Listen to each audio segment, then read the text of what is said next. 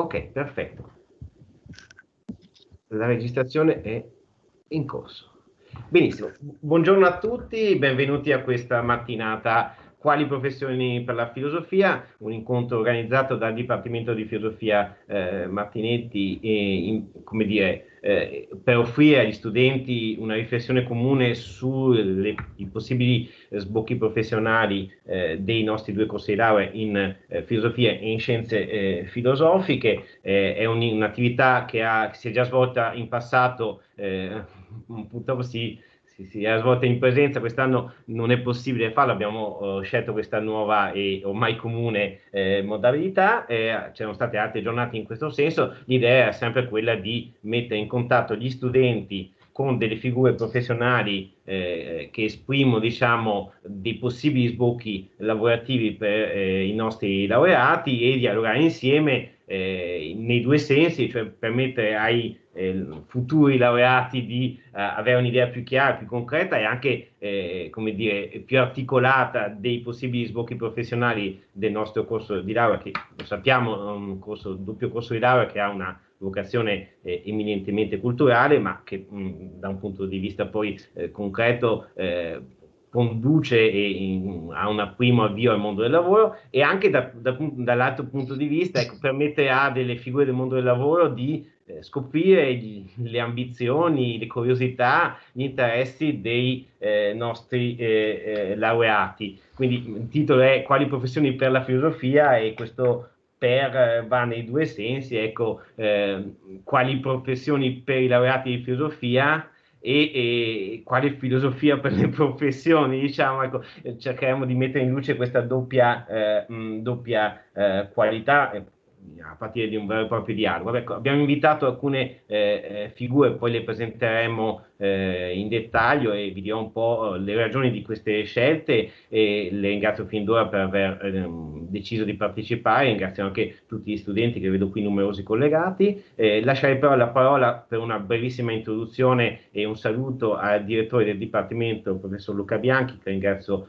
anche di per essere eh, venuto qui con noi questa mattina e, e, e appunto Luca a te la parola ecco, per dire anche le ragioni più ampie ecco, di questo nostro impegno per come dire, illustrare ai nostri studenti, eh, anche in questo momento particolarmente difficile, eh, in che senso nostro, i nostri due corsi di laurea eh, hanno, oltre che una vocazione culturale, una vocazione eh, professionalizzante, il termine è, è, non è particolarmente eh, bello, ma ecco, è quello che definisce più chiaramente eh, le ambizioni dei nostri due corsi di laurea. A te Luca.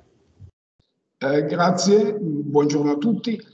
Eh, in realtà Alberto ha già eh, introdotto ampiamente questa nostra iniziativa, eh, sono molto lieto che si riesca a condurla anche quest'anno. Eh, noi è già da qualche anno che abbiamo programmato questi incontri e abbiamo trovato che eh, siano molto interessanti, hanno riscosso successo presso i nostri studenti. Eh, abbiamo indicato nel nostro piano triennale del Dipartimento questa iniziativa come una delle iniziative importanti che noi facciamo e che offriamo ai nostri studenti. Eh, quest'anno era particolarmente difficile organizzarla, ma grazie a Alberto Frigo, che eh, ringrazio molto, siamo riusciti, eh, grazie anche alla disponibilità di tutti coloro che eh, oggi sentirete eh, intervenire. Penso che sia molto importante una riflessione sugli sbocchi professionali dei nostri studenti, in particolare in un momento che è delicato per due motivi. Uno è quello che tutti conosciamo, eh, è difficile immaginare eh, il futuro professionale non solo dei laureati in filosofia in questa fase, viviamo una fase eccezionalmente complessa, ma d'altra parte ricordo che proprio in uno degli incontri che abbiamo fatto, credo il primo, un paio d'anni fa, eh, su questo tema, ehm, ci era stato autorevolmente spiegato che eh, noi non siamo nemmeno in grado di immaginare quali saranno le professioni che eh, molti giovani faranno fra solo una decina d'anni. Eh, la situazione di crisi che viviamo da un certo punto di vista accelererà alcuni processi e eh, rappresenta una sfida. Per quanto riguarda noi, poi, come molti studenti eh, sanno e anche come molti dei partecipanti a questa discussione di stamattina sanno, siamo all'indomani di una riforma eh, abbastanza profonda, in particolare per quanto riguarda la laurea triennale, del nostro eh, ordinamento. Abbiamo approvato gli ultimi atti formali, li compieremo nei prossimi giorni, una riforma dell'ordinamento e del regolamento della triennale e eh, solo del regolamento per la laurea magistrale, dando una struttura eh, più definita in particolare ai primi anni del corso triennale nella convinzione che sia importante avere una formazione di base che poi consenta agli studenti di compiere scelte più consapevoli eh, negli anni eh, di formazione poi eh, successiva. Eh, è anche questa un'opportunità che noi diamo ai nostri studenti e devo dire che l'abbiamo realizzata in sintonia con le parti sociali e con il comitato di indirizzo il cui apporto è stato eh, molto importante. Eh, non vorrei sottrarre altro tempo eh, alla mattinata, quindi eh, ringrazio tutti coloro che hanno accettato il nostro invito, ringrazio nuovamente Alberto Frigo che come dire, condurrà questa giornata e vi presenterà i vari relatori. Grazie. Grazie mille, grazie Luca Uh, per aver ricordato anche appunto due eh, dispositivi diciamo, che sono in atto nel, nell'attività del Dipartimento che eh, sono appunto il comitato di indirizzo e le consultazioni delle parti sociali, sono due dispositivi che ci permettono di tastare sistematicamente, periodicamente il polso, sono diciamo, delle riunioni che noi facciamo con delle figure, alcune di quelle eh, che vedrete stamane sono membri appunto o del comitato o delle parti sociali, che adesso si chiamano parti interessate, insomma sono delle riunioni periodiche che noi facciamo appunto per tastare il polso e per eh, avere un dialogo costante sulle eh, del mondo del lavoro e quindi le evoluzioni anche delle, dei possibili eh, sbocchi lavorativi per i nostri eh, studenti. Come vi dicevo, è una mattinata eh, articolata in vari momenti. Eh, vi illustro brevemente, riprendendo la locandina, ehm, le, gli interventi, anche la natura degli interventi, per indicare anche la natura degli interventi. Avremo due eh, interventi iniziali di carattere eh, più eh, diciamo generale introduttivo, eh, uno di Uberto Minghi che è, è un funzionario per sistema formativo e capitale umano di Asso Lombardia che quindi eh, ci presenterà in maniera più ampia eh, il panorama del mondo del lavoro in Lombardia, salve, eh, in, in, particolare e il, eh, le possibilità di inserimento dei lavorati non soltanto in filosofia ma più in generale in discipline umanistiche eh, nel quadro appunto uh, di, de, della, dell'ambiente lombardo e con qualche dato alla mano e anche con qualche, se, se ho capito bene le sue indicazioni, qualche eh, nota come dire, critica o non soltanto, ecco, mh, che va un po' contro una, una vulgata eh, spe- che spesso ci viene, ci viene eh, offerta eh, anche nell'ambito dei, del mondo della comunicazione. E, ehm, e subito dopo oh, lasciamo la parola a um, eh, eh, il dottor eh, Schiavone che eh, sostituisce Emiliano Santini eh, per rappresentare il COSP che è il centro funzionale di Ateneo per l'orientamento allo studio e alle professioni, quindi è un, un elemento diciamo, del nostro Ateneo, un, un che si occupa eh, in maniera costante e molto attiva, eh, qualcuno di, di voi, fra gli studenti, probabilmente ha avuto occasione di confrontarsi già con questa uh, istituzione, il COSP appunto, ecco, si occupa in maniera molto attiva e molto efficace eh, dell'orientamento post laurea eh, e, e, di quello che oggi viene de- chiamato con un termine inglese placement, eh, e quindi Aurelio eh, ci illustrerà un po' le funzioni del COSP e ci darà qualche indicazione anche pratica su come profitto da questa istituzione che è molto attiva appunto all'interno dell'Ateneo e che eh, molti studenti conoscono, ma forse non tutti, quindi è bene ricordarlo. E poi ehm, avremo una serie di interventi, diciamo, più mirati, eh, degli interventi appunto che eh, lasciano la parola a delle figure che vengono dal mondo del lavoro e delle figure eterogenee. Ecco, mh, qui forse merita che spenda due parole per dire la ragione delle scelte di, di queste eh, figure. Ecco, abbiamo scelto eh, sia del, delle figure che esprimono degli sbocchi professionali, diciamo, tradizionali, per eh, la, le lauree in, in, filosofia e in scienze filosofiche che delle figure un po' più eh, stravaganti, diciamo, inaspettate. Ecco per darvi un'idea di eh, quello che tipicamente uno laureato dei nostri due corsi di laurea può voler tentare eh, di fare nel mondo del lavoro, ma anche qualcosa che magari non si aspetta e che potrebbe scoprire essere una via possibile. In questo senso abbiamo eh, invitato Andrea Guerra, che è amministratore delegato di eh, Partners, oltre che fondatore di, di questa non so se si dice azienda, società, è un termine difficile per, eh, per un, un, un'azienda appunto che si di software, di software in particolare eh, per la sicurezza informatica in ambito eh, del, eh, dire, eh, dei software per eh, banche, se ho capito bene, per istituti finanziari. Eh, quindi appunto qualcosa che sembra un po' lontano dalla filosofia e eh, avremmo sia la sua voce che una voce eh, diciamo complementare perché è la voce di Cecilia De Luca che è una recentissima laureata del nostro corso in scienze filosofiche e che adesso si trova a lavorare fianco a fianco nell'azienda di Andrea Guerra e eh, che appunto eh, Cecilia se ci, ci, ci, sei e ci fai vedere eh, la tua immagine così possiamo già identificarti. Eh, sì. Eccoci, ci sei Cecilia? Sì, non mi vedete? Non la, la, ah, eccoci, adesso sì, ti vediamo, perfetto, grazie. Eh, quindi ecco, avremo due voci, una voce diciamo dall'alto e una voce eh, dal basso che ci descriveranno insieme una medesima realtà lavorativa un po' ecco, lontana da quelle che ci aspetteremmo per i laureati in filosofia.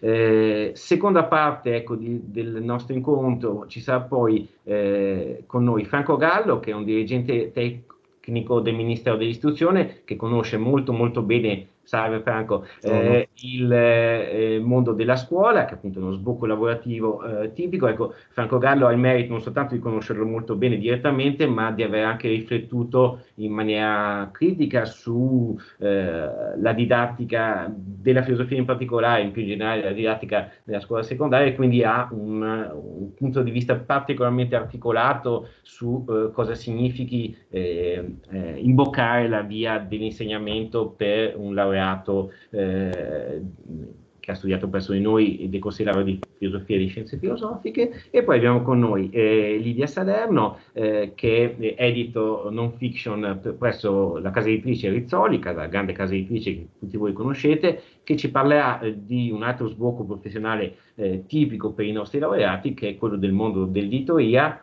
e anche in questo caso abbiamo cercato di eh, adottare un punto di vista non banale, nel senso parlare delle nuove figure, ecco, delle evoluzioni che il mondo dell'editoria ha conosciuto negli ultimi anni e eh, appunto un mondo che è molto molto cambiato anche in, a causa di alcune dire, eh, modifiche nel modo di produrre e distribuire eh, libri ecco, e, e, forse anche qui ci sono delle possibilità nuove che si aprono un po' inaspettate sulle quali è bene riflettere. Eh, Buongiorno a tutti. Salve, ciao lui.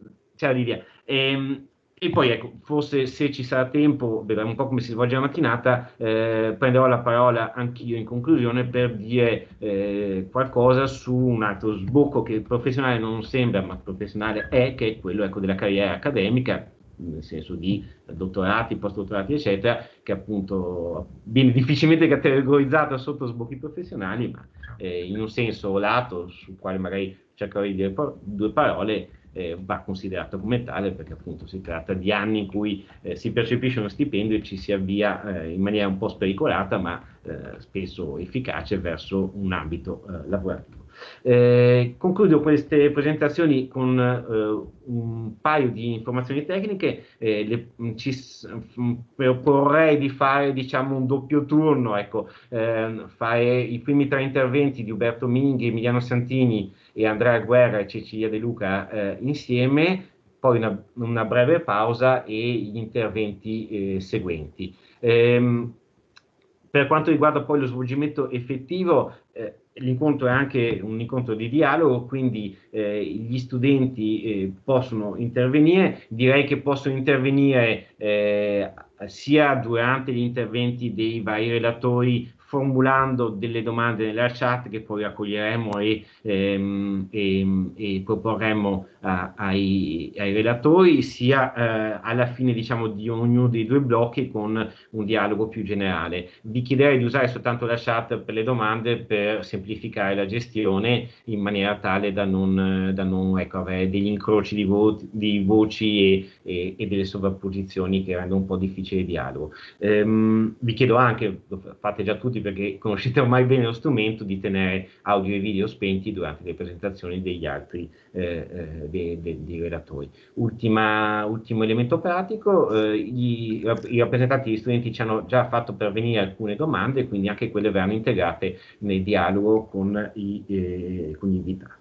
Credo sia tutto e, e quindi ringrazio di nuovo Luca per eh, essere stato qui presente in, per questa introduzione direi che possiamo uh, dare la parola al primo degli interventi, che è quello di Roberto Minghi, eh, che ringrazio e che se non è contrario all'opzione metterei in primo piano in modo che eh, sì, il, suo certo. sia, il, suo viso sia più visibile e perfetto, ah benissimo e quindi credo Molto... che vediamo già la presentazione. E quindi, Eccomi qui. Io vedo lei in questo momento, professore, è normale e, che sia così, vero? È normalissimo, okay. anzi guardi, io mi, mi uh, annullo come video per qualche no, secondo in maniera tale che, che lei eh. abbia la presentazione.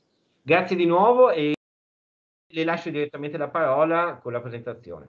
Perfetto. Eh, buongiorno, grazie ancora per, per, l'ospitalità e per avermi eh, invitato a questo incontro. Per noi eh, di Assolombarda è sempre una, un'occasione molto preziosa quella di confrontarci con gli studenti eh, e con l'università in generale, sempre un momento di grande arricchimento e quindi sono molto contento di questa, di questa presenza. Ehm, mi presento molto velocemente, professionalmente parlando. L'Assolombarda, non Assolombardia, ma Assolombarda Lombarda è, un'associazione, la più importante associazione datoriale di carattere territoriale italiana e fa parte della famiglia della Confindustria, cioè la principale organizzazione appunto eh, datoriale italiana. Ha una competenza interprovinciale Milano, Monza Brianza, Lodi e, e, Pavia e quindi è un bacino di imprese molto consistente, molto vario sia dal punto di vista quantitativo, guardate 6.300 aziende che rappresentano quasi 4.000 dipendenti, ma anche dal punto di vista eh, come dire, della, quali, della varietà della, del, del, tessuto associativo che rappresenta, perché eh, noi rappresentiamo tutti i settori produttivi, quindi dai settori tradizionali manifatturieri fino fino a quelli più avanzati dei servizi e anche per dimensioni. Naturalmente il grosso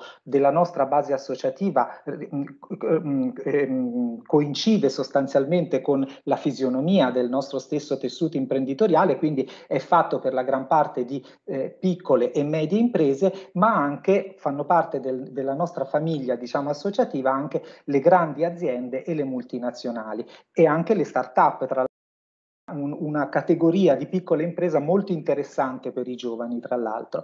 Eh, che cosa facciamo? Cosa fa la Solombarda? La Solombarda svolge un duplice ruolo.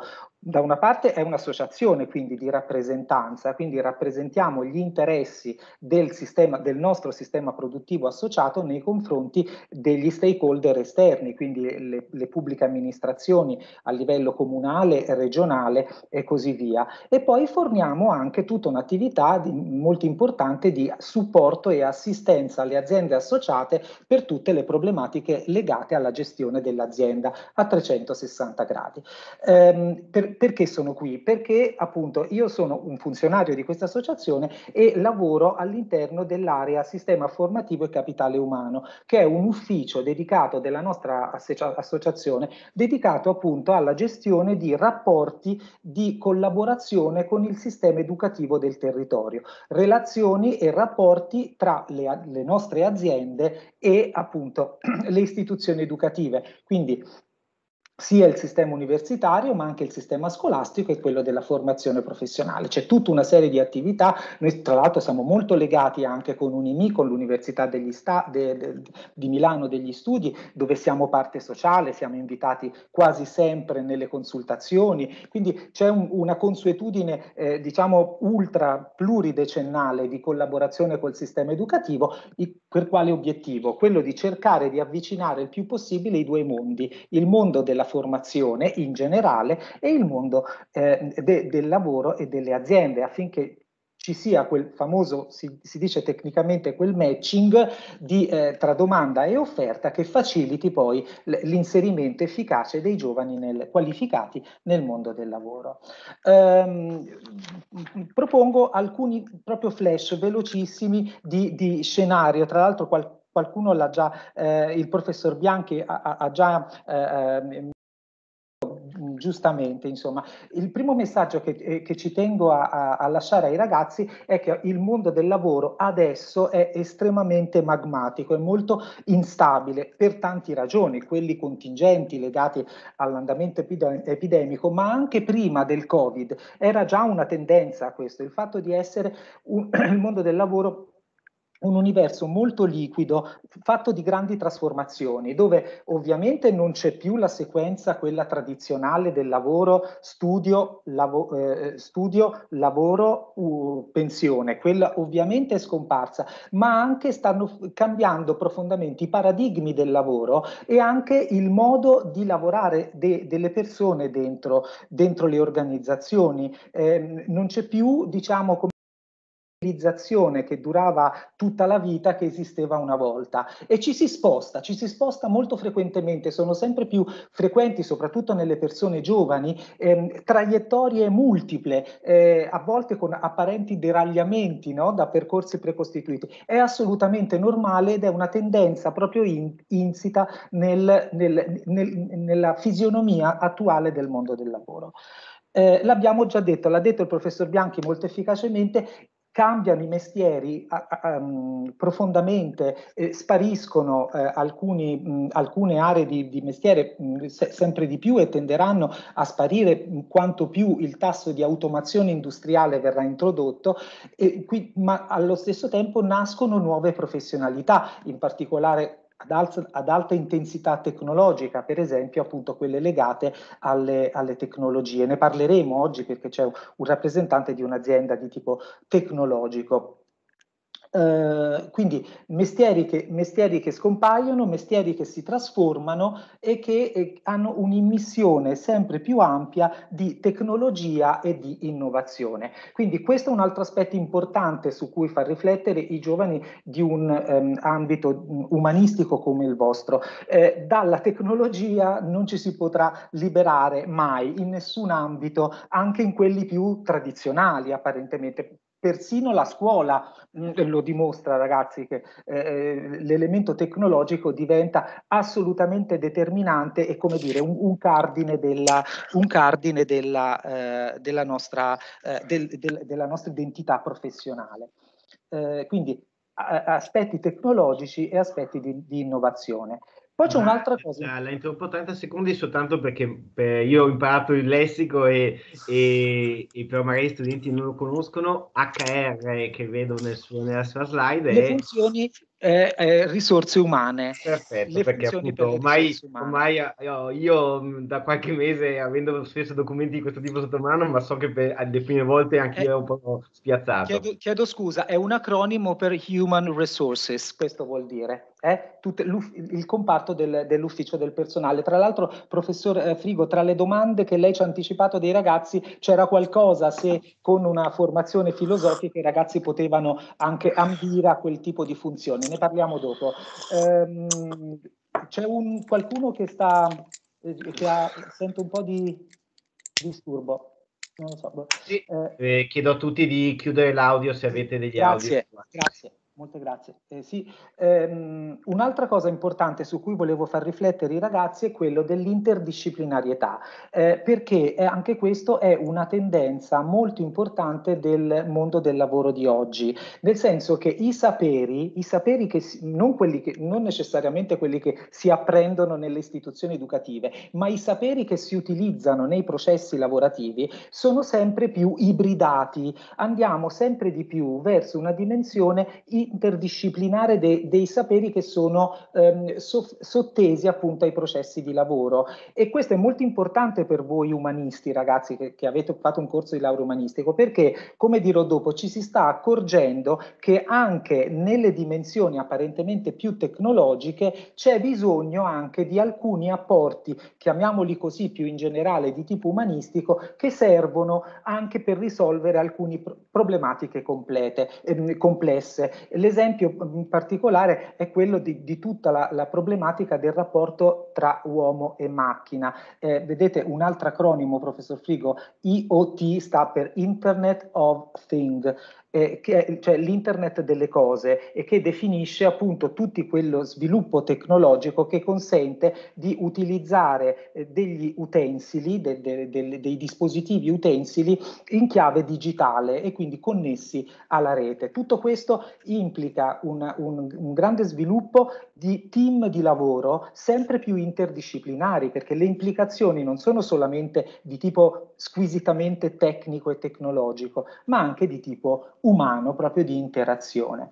E poi l'altra cosa, il mercato del lavoro, quello del lavoro è un mercato, ragazzi. Cosa vuol dire? Economicamente parlando vuol dire che c'è una domanda e c'è un'offerta. Quindi da un certo lato, diciamo, è, è un'opportunità perché è, è, comunque un mondo molto ricco, sicuramente vi ho detto effervescente, molto magmatico, molto liquido, ma sicuramente ricchissimo di alternative di mestiere, io le chiamo, anche imprevedibili, su questo poi ritorniamo dopo e anche persone che parleranno dopo di me, eh, però basato sulla legge del mercato, cioè della domanda e dell'offerta.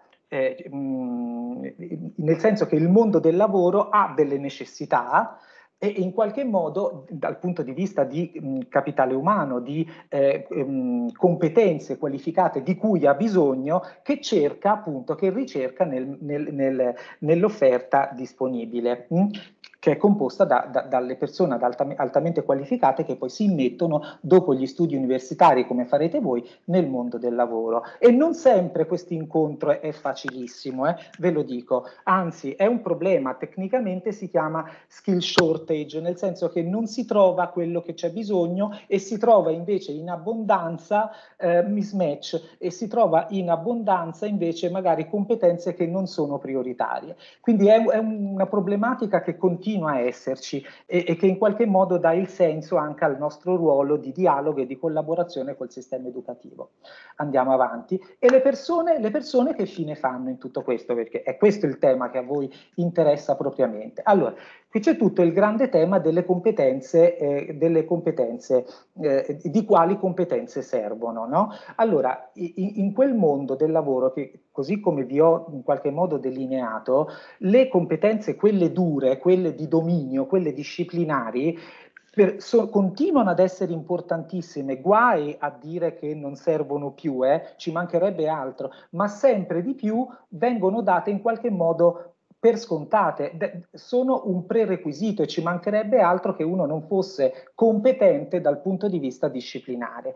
Però aumenta allo stesso tempo il ruolo del, e l'importanza e il peso proprio specifico delle competenze trasversali. Qualcuno le chiama competenze morbide, altri um, esperti di eh, risorse umane le chiamano competenze di fusione, le fusion skill, cioè non solo la capacità di eh, attivare dei comportamenti professionali legati alle discipline che si conoscono, ma farlo in una dimensione di contesto, di socialità e di relazione. No? Quindi le competenze trasversali, poi lo vedremo adesso nella, nella diapositiva successiva, sono proprio quelle che facilitano in qualche modo i processi di lavoro e sono, diciamo, trasversali perché? Perché sono trasversali a qualunque ambito professionale.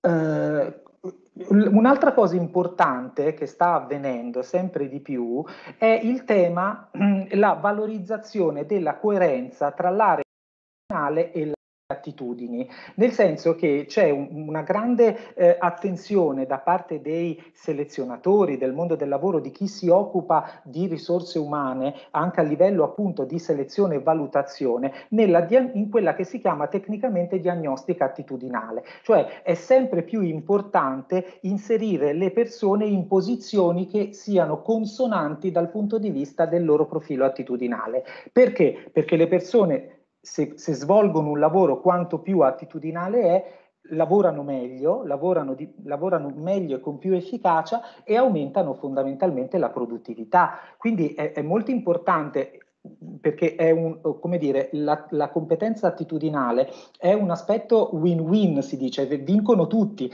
vincono i, le aziende, qualunque esse siano, perché eh, eh il, il, il, il, dipendente, il collaboratore lavora con più entusiasmo e con più motivazione e, e vince anche il dipendente stesso perché come dire, lavorare su un'area attitudinale è fortemente motivante, quindi è, è un elemento di incoraggiamento no? e di spinta e di energia per crescere. E tutto questo che cosa vuol dire? Eh, è importante capire che ehm, partendo dal presupposto, come ho detto, che tutta la parte disciplinare e, e, quel, e, quindi tutto il comparto del sapere duro, tra virgolette, viene dato o per scontato quello acquisito nei processi formali come state facendo voi all'università, oppure viene mh, eh, somministrato nel percorso del, di, nel, nel, rapporto di lavoro attraverso la formazione aziendale che sempre più uh, tante aziende eh, svolgono, accanto a questo aspetto c'è un aspetto di soggettività in, in, tutti i lavori, in tutte le aree professionali e sono sicuro che tutti i colleghi che parleranno dopo di me saranno eh, d'accordo su questo, che dove l'aspetto appunto delle caratteristiche eh, intime, eh, personali, attitudinali, di personalità, di attitudine diventano eh,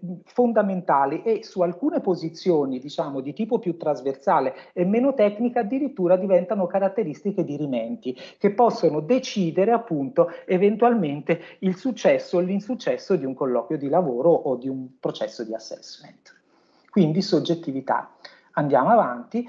Quindi Vedete, si valuta la persona, non solo ciò che ha studiato. Quindi attenzione, concentratevi naturalmente su quello che state imparando, sui vostri saperi disciplinari, però ricordate che sempre di più il mondo del lavoro si nutre anche di elementi legati proprio alla narrazione eh, come dire, ha una visione, posso dire, olistica della persona, cioè che comprende non solamente l'aspetto meramente eh, educativo, eh, il lato, diciamo, della formazione formale, ma proprio la sua interezza, la, la, la, capacità di essere una persona che ha sviluppato esperienze, valori, attitudini appunto molto precise. E questo è appunto da innesca diciamo, quella consapevolezza sulle competenze trasversali che sono tanto utili nel mondo del lavoro. E il messaggio dopo è molto importante, non bisogna spaventarsi o provare un senso di, inadeguate, di inadeguatezza rispetto a posizioni di lavoro apparentemente distanti dal curriculum di studio umanistico. Eh, il professor Figo ha detto che ci saranno delle testimonianze, eh, come ha detto, extravaganti. Sono felicissimo di, di, queste, di, queste, di queste testimonianze finanze, perché è esattamente così. Essendo il mondo del lavoro sempre più basato sulle caratteristiche personali, chi ha queste caratteristiche in chiave attitudinale, di predisposizione, chiamiamola di forma mentis, può, può, aspirare anche a, come dire, legittimamente anche a posizioni apparentemente distanti da quelle previste dagli sbocchi professionali ordinamentali, diciamo così. Tanto più per ragazzi che eh, studiano studi filosofici come voi. Uh, so, soft skill, um, facciamo un pochino di disamina su che cosa sono queste eh, benedette competenze morbide, trasversali, alcune le chiamano addirittura life skill, perché? Perché sono tanto utili nel mondo del lavoro quanto nella vita stessa, a prescindere dal, dal, dal contesto professionale. Um, diciamo tre aree principali, quelle cognitive, quelle sociali e quelle emotive. Um, um, leggiamole insieme perché molto vi riguardano da vicino, tra l'altro, come studenti di studi filosofici. Eh, le competenze cognitive, vedete, fanno riferimento al come si prendono le decisioni, eh, ehm, come avviene il, quello che tecnicamente si chiama il, decision, il decision making, la capacità di risolvere i problemi. Eh, la creatività è una competenza cognitiva, quindi eh, usare creatività anche per la risoluzione di problemi complessi, la capacità di analisi, eh, di focalizzare un argomento e analizzarlo nel profondo e avere quel critical thinking, quel pensiero critico che consiste, tante aziende ci dicono, noi abbiamo bisogno da parte degli umanisti non solo che abbiano la capacità in qualche modo di risolvere i problemi che sono eh, culturalmente alla loro portata, ma anche di porsi delle domande al momento giusto. Dove stiamo andando con la, la nostra strategia di business? È corretta? Ecco, eh, questo è quella capacità di pensiero critico che sicuramente voi avete esercitato e state esercitando e che anche in contesti eh, aziendali, quindi apparentemente lontani dal vostro mondo, vengono utilizzate. Eh? Competenze sociali, queste sono quelle più evidenti.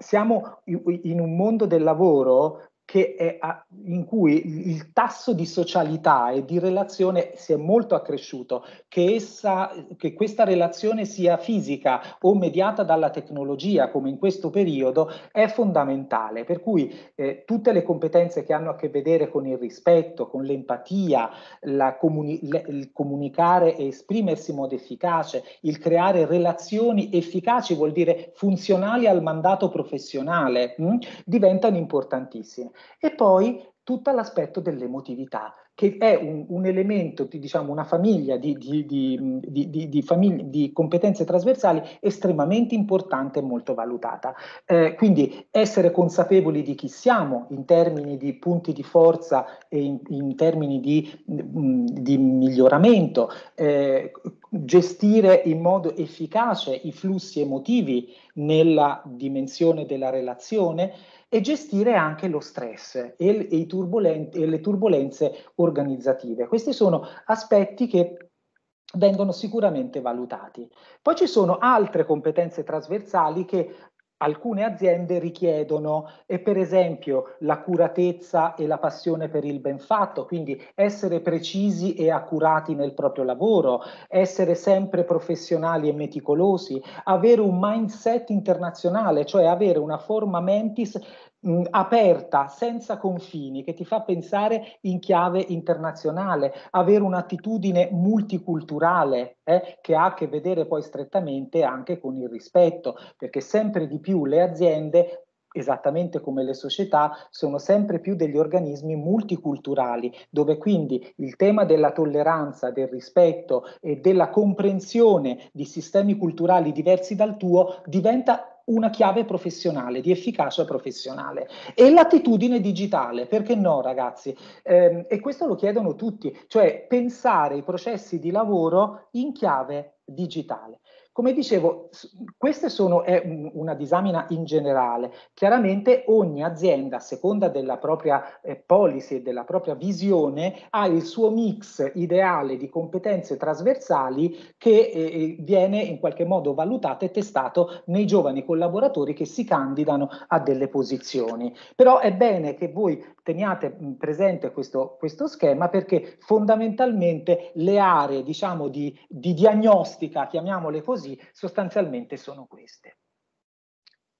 Eh, come competenze trasversali, come si sviluppano? Questa è una domanda che eh, spesso i ragazzi mi fanno quando sono in, in, contesti di orientamento come questo. Allora, sicuramente alcune in, su alcune competenze la, eh, diciamo, il, la formazione formale, cioè il processo universitario di formazione universitaria può aiutare, laddove per esempio si utilizzano in integrazione alla didattica frontale, quella meramente frontale, strumenti di didattica attiva e cooperativa che in qualche modo cimentano attraverso attività laboratoriali, ehm, esercitazioni su, su casi, ehm, momenti di interazione anche di gruppo, possano in qualche modo sviluppare, abituarvi voi ragazzi anche a, a certe, all'esercizio di certe competenze. Però molto di queste competenze trasversali non si imparano attraverso le discipline, eventualmente nel modo di impararle, ma si imparano attraverso l'esperienza di vita e le esperienze personali. Quindi quali sono fondamentalmente alla vostra età? quello che avete fatto, proprio il, la vostra narrazione di vita, le vostre esperienze, se avete fatto lavoretti, che cosa come si è svolta la vostra vita, provate ad analizzare appunto il vostro percorso di vita in chiave di competenze trasversali.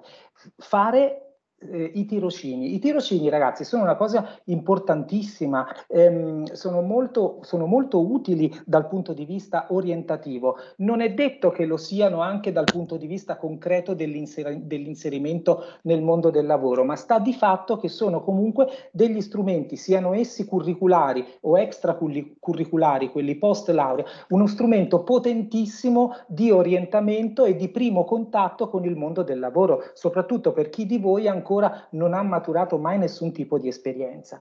Poi gli hobby, tutto il mondo dell'attività amatoriale, hobbistica, però strutturata, cioè che sia legato diciamo a un progetto per esempio ehm, una persona per esempio che è molto impegnata nel volontariato in progetti di volontariato eh, per esempio persone che svolgono attività eh, di tipo sportivo ehm, di, di, professionistico e così via.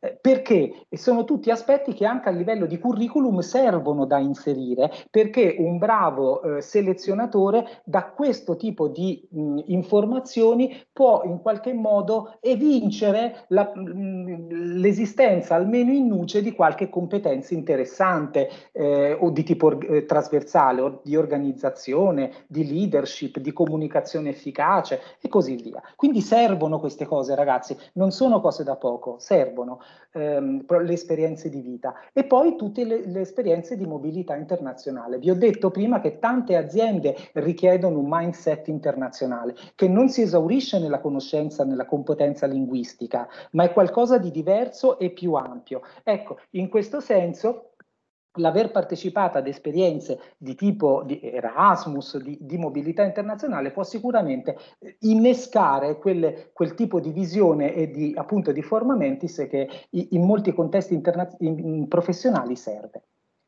Quindi, Uh, uh, per quanto vi riguarda i laureati humanities all'inglese, cioè del comparto umanistico. Il mio è un ragionamento più che specifico per voi che siete eh, laureandi e studenti di filosofia proprio per il comparto umanistico. Sicuramente ce ne sono tanti anche nel mondo industriale, ehm, anche proprio per ehm, a, a, brevissimo raggio la mia dirigente responsabile è una filosofa, eh, quindi per dirvi che anche nel nostro mondo eh, eh questo tipo di profili di laurea esistono, sono sempre esistiti, perché sono molto duttili, sono molto spendibili, quindi eh, lo vedrete anche dalle esperienze, dalle testimonianze che mi, su mi succederanno, dal marketing alla pubblicità, all'editoria, alle funzioni commerciali, la comunicazione d'impresa, la formazione, la selezione e lo sviluppo delle risorse umane.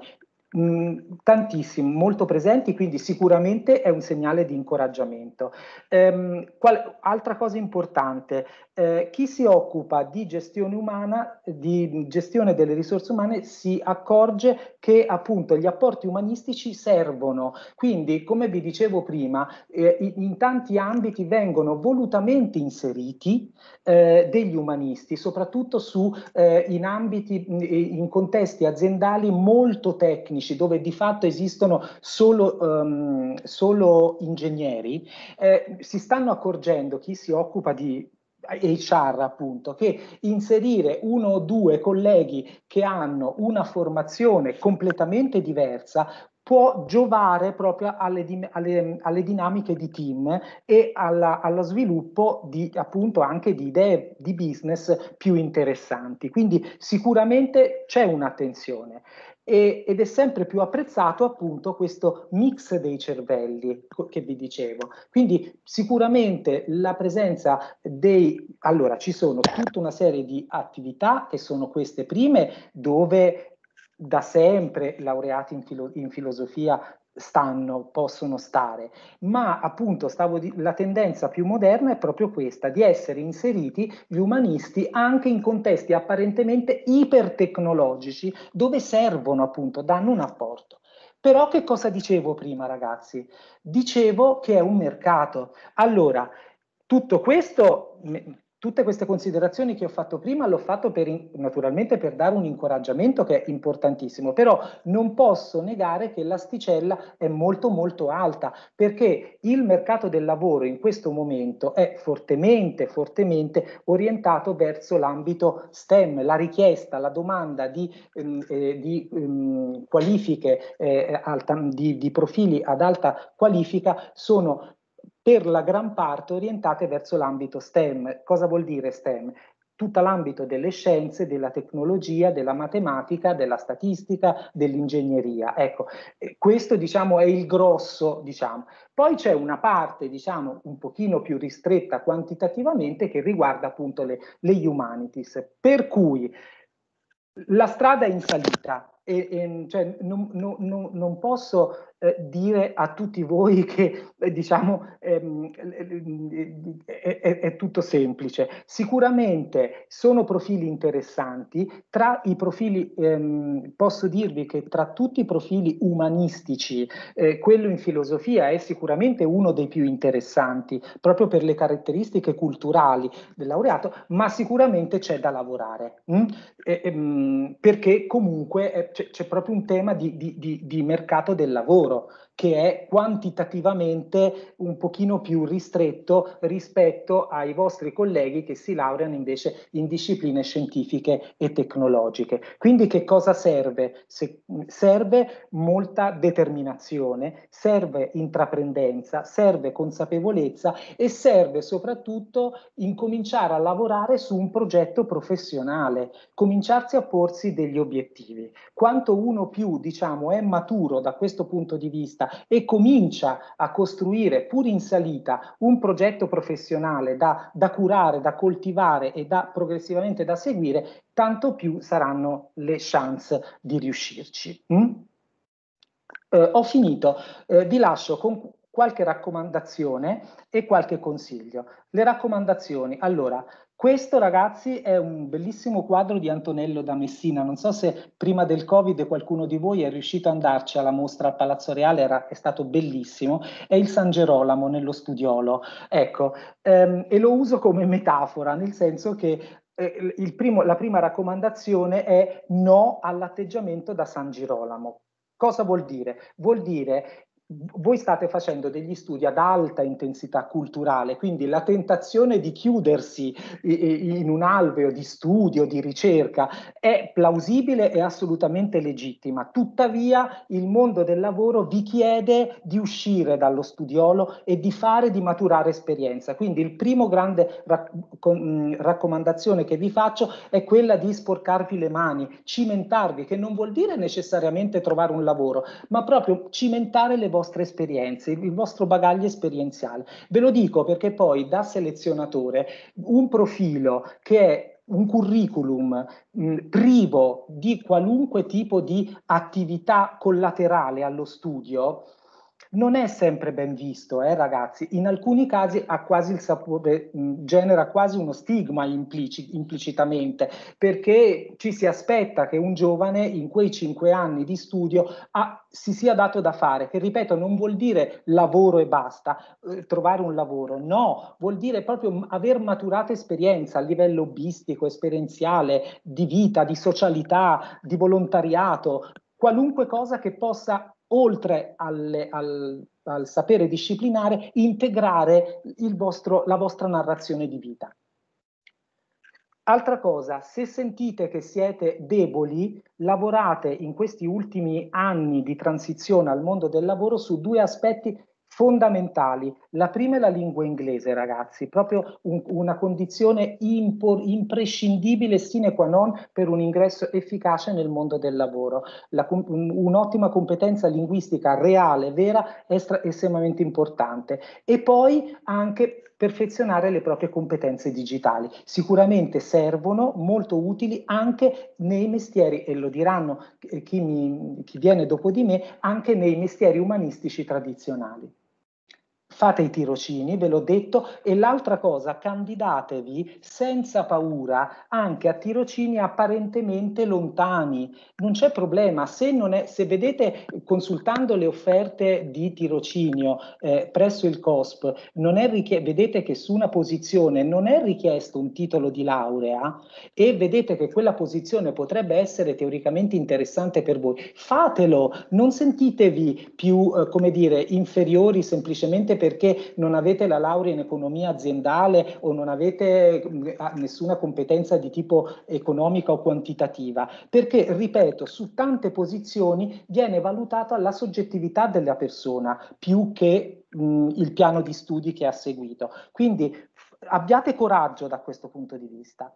E poi un'altra raccomandazione che vi faccio, perché è molto importante. Vi dicevo che il lavoro è fatto di socialità e il lavoro eh, si nutre di relazioni. Allora dovete cominciare fin da adesso, che siete molto giovani e ancora non avete terminato il percorso di studi, dovete cominciare a creare una, re una rete di relazioni che all'inizio coinciderà con quella degli amici o dei compagni di studio, però deve essere coltivata perché l'aspetto, come dire, il capitale relazionale che una persona si costruisce negli anni diventa fondamentale e un elemento anche di crescita professionale se se la porta dietro. Quindi attenzione, e le, le, i network, le reti di relazione, bisogna costruirle quando non servono, bisogna cominciare adesso dove non ne avete bisogno, perché devono essere appunto implementate, coltivate e sviluppate con il tempo. E quello, questo è un grande consiglio al quale non si pensa, ma è estremamente importante. Create reti di relazioni, di rapporti,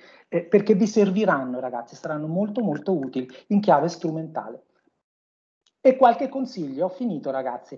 Allora, lo dicevo, cominciate, lavorate voi stessi sotto, eh, a leggere voi stessi sotto il profilo delle competenze e capire quali, delle, delle, de, delle competenze ehm, trasversali, diciamo, di, che possedete ed aver chiaro quali sono le vostre attitudini, qual è il vostro profilo attitudinale, come decidete, per esempio, qual è il vostro modo di decidere, ehm, se siete più, avete una logica di pensiero più sistemica, quindi da specialista, oppure più, ana, ehm, più, an, più, sintetica, più, più analitica, ehm, opp- appunto mh, più uh, da specialista oppure più, sistemica, quindi più eclettica, più, eh, orizzontale. Eh, ci sono tante aree attitudinali, come vivete le vostre, per esempio, le vostre emozioni, come gestite i vostri flussi emozionali, sono tantissime perché? Perché imparare progressivamente a conoscersi bene da questo punto di vista aiuta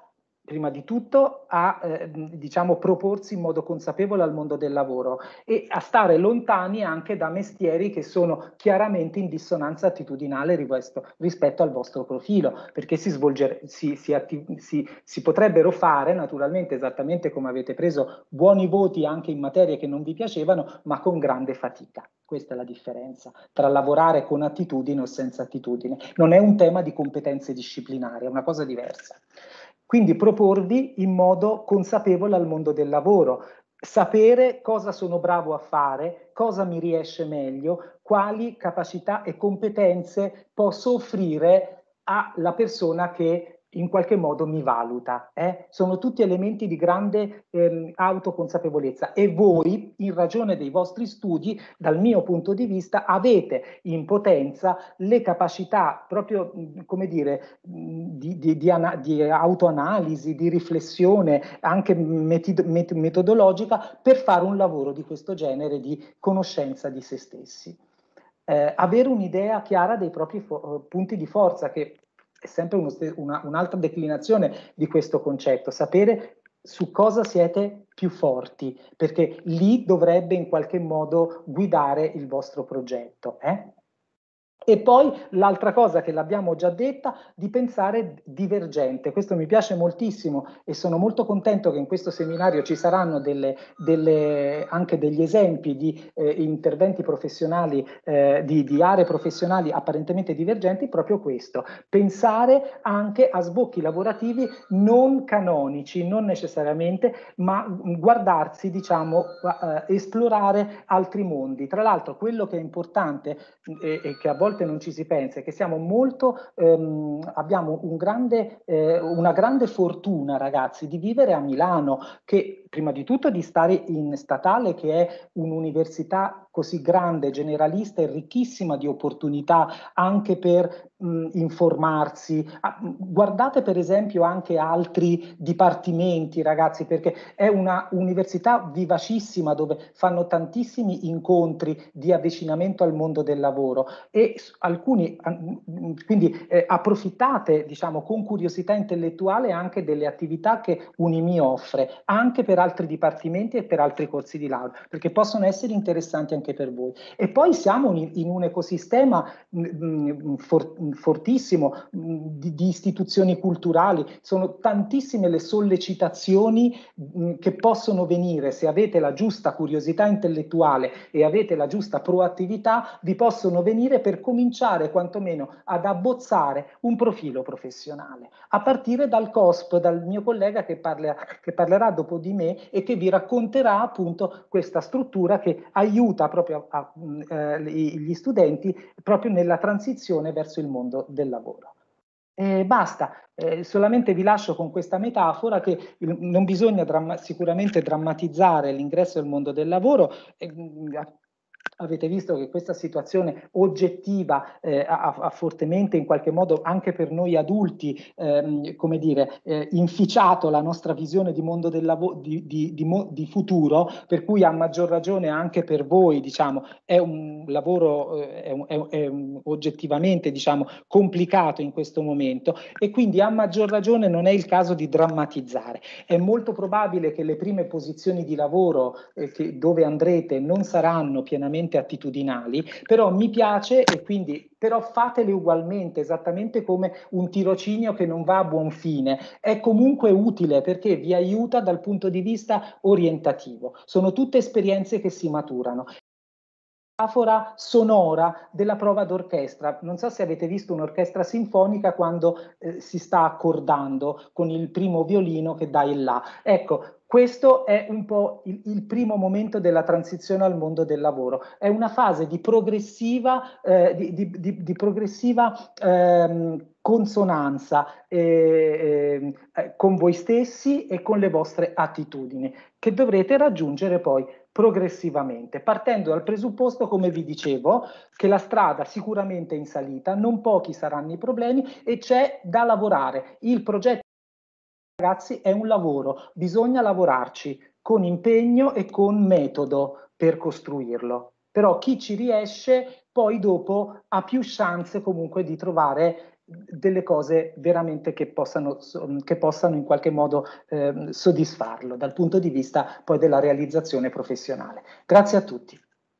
Grazie a lei e è veramente una presentazione molto ampia, molto articolata e anche molto eh, sfumata dei vari elementi ecco, che entrano in gioco sia dal punto di vista dell'offerta che da quello della eh, domanda. Quindi la ringrazio, la ringrazio veramente molto per, per tutti questa, questi elementi ecco, di riflessione che, che, ci ha proposto. Mi scusi per Asso Lombardia, in effetti mi sono, ci ho pensato dopo Asso Lombarda, eh, eh. esattamente, esattamente aveva ragione. E, ehm, e proporrei, visto che appunto uh, il tempo non è infinito che abbiamo e quindi magari anche gli altri inter- per gli altri interventi chiederei forse un attimo di concisione in più per lasciare un po' di spazio alle domande. Proporrei eh, però magari di eh, lasciare la parola subito a Aurelio Schiavone per la presentazione anche del COSP e, e nel frattempo eh, se avete, parlo per gli studenti, se avete domande da formulare rispetto a quello che avete a, appena sentito, alle slide che avete visto eh, e anche quello che sentirete di Aurelio Schiavone, formularle man mano sulla chat e poi al termine del, del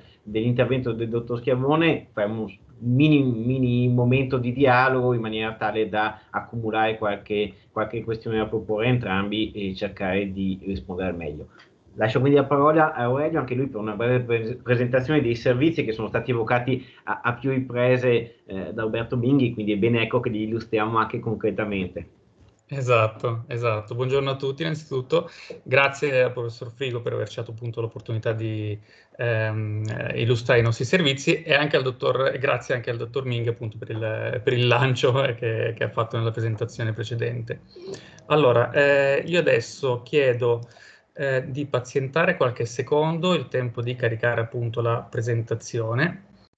Eh, io sarò eh, veramente eh, veloce, nel senso che eh, l'obiettivo di questo, di questo, incontro, appunto, io prenderò giusto 5 minuti eh, per descrivere quelli che sono i servizi, eh, i servizi del COSP e più nello specifico dell'ufficio placement.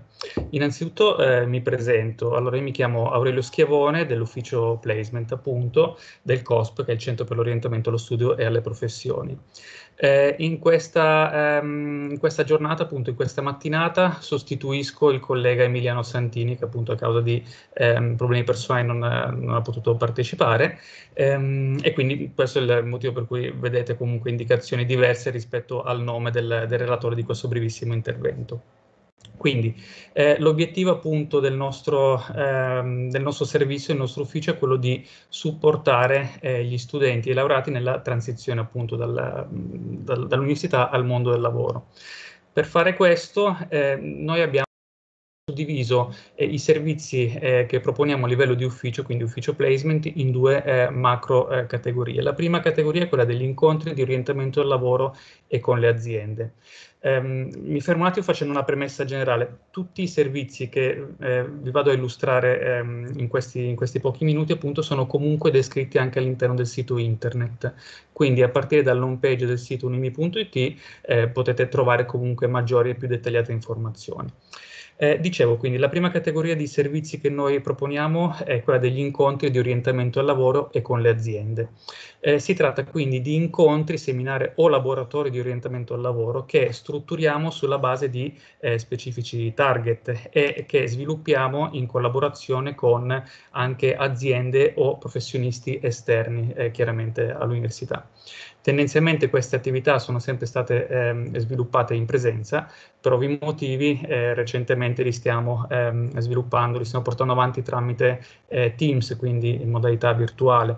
Per dare qualche esempio, i laboratori che si strutturano tendenzialmente su quattro incontri eh, diversi che noi appunto ehm, ehm, costruiamo in maniera specifica sul target di riferimento, si analizzano diversi, eh, diverse tematiche importanti, che, come ad esempio quella della candidatura, quindi come strutturare un curriculum eh, efficace, come affrontare nel migliore dei modi il colloquio, ad esempio il colloquio individuale, e poi con l'aiuto anche, faccio riferimento nello specifico alle ehm, tematiche che, si affrontano, che stiamo affrontando durante gli ultimi laboratori che Dicevo, in collaborazione con ehm, professionalità esterne eh, affrontiamo ad esempio il tema del personal branding, quindi della marca individuale, i valori aziendali, quelle che sono le competenze richieste dalle aziende, le modalità di valutazione, eh, di valutazioni contemporanee e poi anche eh, per dare un respiro più ampio, diciamo, quella che è l'offerta appunto dei laboratori, affrontiamo anche quella che è la ricerca del lavoro virtuale e internazionale nel contesto attuale.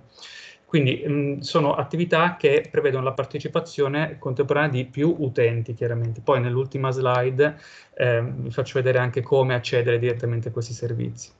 Quindi questi sono servizi che prevedono la, partecipa la partecipazione di più utenti in contemporanea.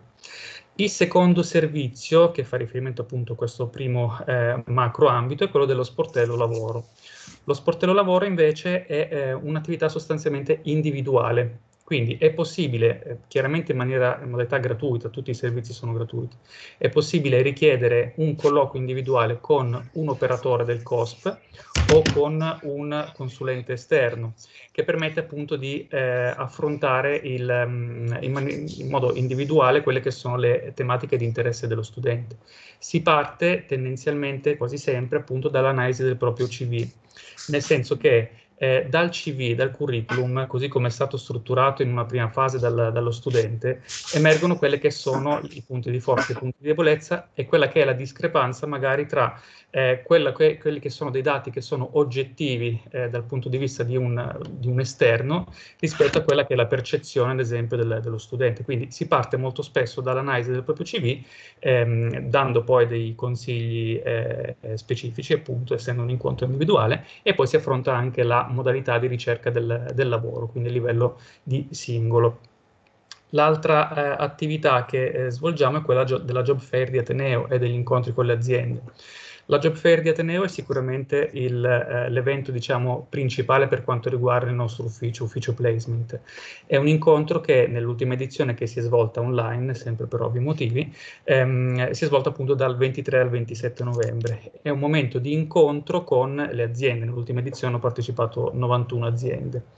Ehm, eh, il sito comunque della Job Fair è, è ancora eh, online, quindi per permettere di ehm, eh, visionare tutte le informazioni che eh, sono state prodotte. Molte slide, ad esempio, degli incontri dell'ultima Job Fair sono eh, pubbliche, sono pubblicate e verranno anche resi pubblici alcuni video eh, dei webinar, ad esempio, che sono stati prodotti durante, durante l'evento. Oltre a questo poi abbiamo anche la fase di promozione di corsi, eventi esterni e incontri.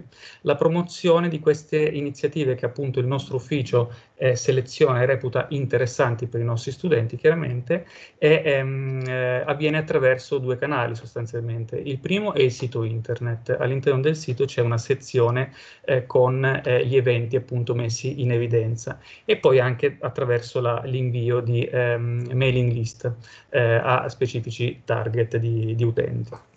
Questi servizi chiaramente sono destinati a studenti e laureati, soprattutto neolaureati. Per neolaureati si, intende, si intendono gli studenti che hanno conseguito il titolo da non più di eh, 12, 12 mesi. Eh, la seconda parte, quindi il secondo eh, ambito diciamo, di azione del nostro ufficio è quello eh, dell'incontro tra domande e offerta di lavoro e stage. In questo senso mi ricollego anche a quello che aveva appunto ehm, eh, accennato il dottor Minghi nel, nell'intervento precedente.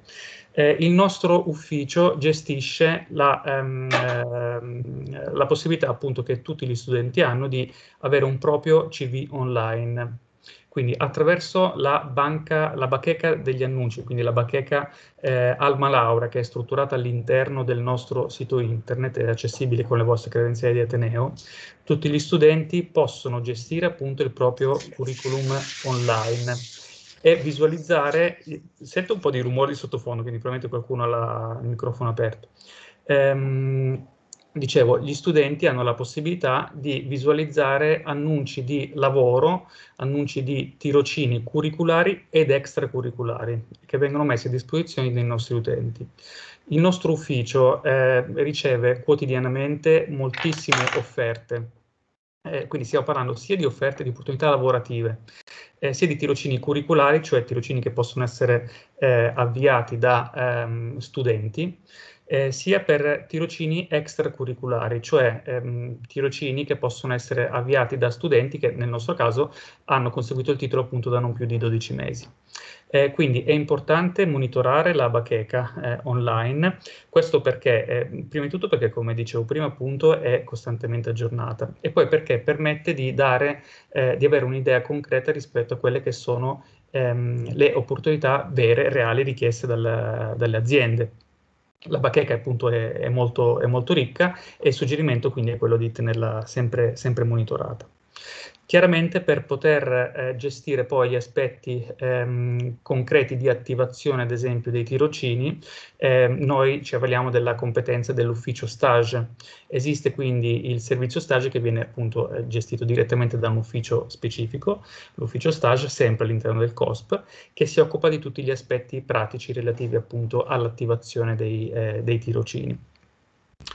Eh, come attivare, quindi come accedere a queste tipologie di servizi e, e mi avvio verso la conclusione della, di, questa, eh, di, questo brevissimo intervento. Ehm, tutti i servizi, eh, ad esempio per quanto riguarda la bacheca, il servizio stage e il CV, sono online e sono integrati all'interno della piattaforma Alma Laurea e sono accessibili dalla pagina Unimia, quindi la pagina a disposizione di ogni eh, studente. Quindi con un unico accesso è possibile accedere a, questi, a, questo servizio. È importante ricordare che è necessario utilizzare eh, login e password, quindi le credenziali di accesso eh, della casella di posta ehm, elettronica di Ateneo, quindi tutto ruota attorno a queste, a queste credenziali. Chiaramente al primo accesso eh, bisogna dare il proprio consenso alla creazione del, del CB. Ehm, eh, è possibile attraverso la ehm, piattaforma Alma Laura aggiornare chiaramente il proprio, il proprio, CV, consultare le opportunità e poi usufruire anche dell'assistenza diretta del, del servizio eh, stage, quindi dell'ufficio che si occupa dell'attivazione dei tirocini nello specifico. Per quanto riguarda invece gli altri eh, gli eventi a cui facevo riferimento prima, ad esempio gli incontri di orientamento al lavoro, eh, seminari o incontri, è, è necessario accedere, è, è, necessario iscriversi, è necessario iscriversi eh, attraverso diversi canali. In qualche caso abbiamo previsto l'iscrizione diretta tramite SIFA, in qualche caso invece abbiamo previsto l'iscrizione attraverso la statale news oppure attraverso altri canali. La cosa importante da dire è che nel momento in cui eh, attiviamo con la collaborazione di professionisti esterni o, o di altri settori dell'università questi laboratori, questi incontri, specifichiamo sempre qual è la mh, modalità di iscrizione. Lo sportello lavoro invece è uno sportello, e sto parlando adesso degli, degli incontri individuali, che diciamo non, mai, ehm, non si è mai bloccato in, in epoca Covid. Eh, infatti attualmente è strutturato in modalità online su Teams. Eh, solitamente invece lo sportello è accessibile eh, su prenotazione, quindi in modalità fisica, eh, tutti i mercoledì dalle 14 alle 16, direttamente al COSP in Santa Sofia. In questo periodo, quindi dicevo, gli, gli incontri continuano a tenersi, però in modalità online, sempre chiaramente individuale. Eh, per accedere a questo servizio è sufficiente inoltrare un'email a placement.aziende.it, che è l'indirizzo mail del, del nostro ufficio.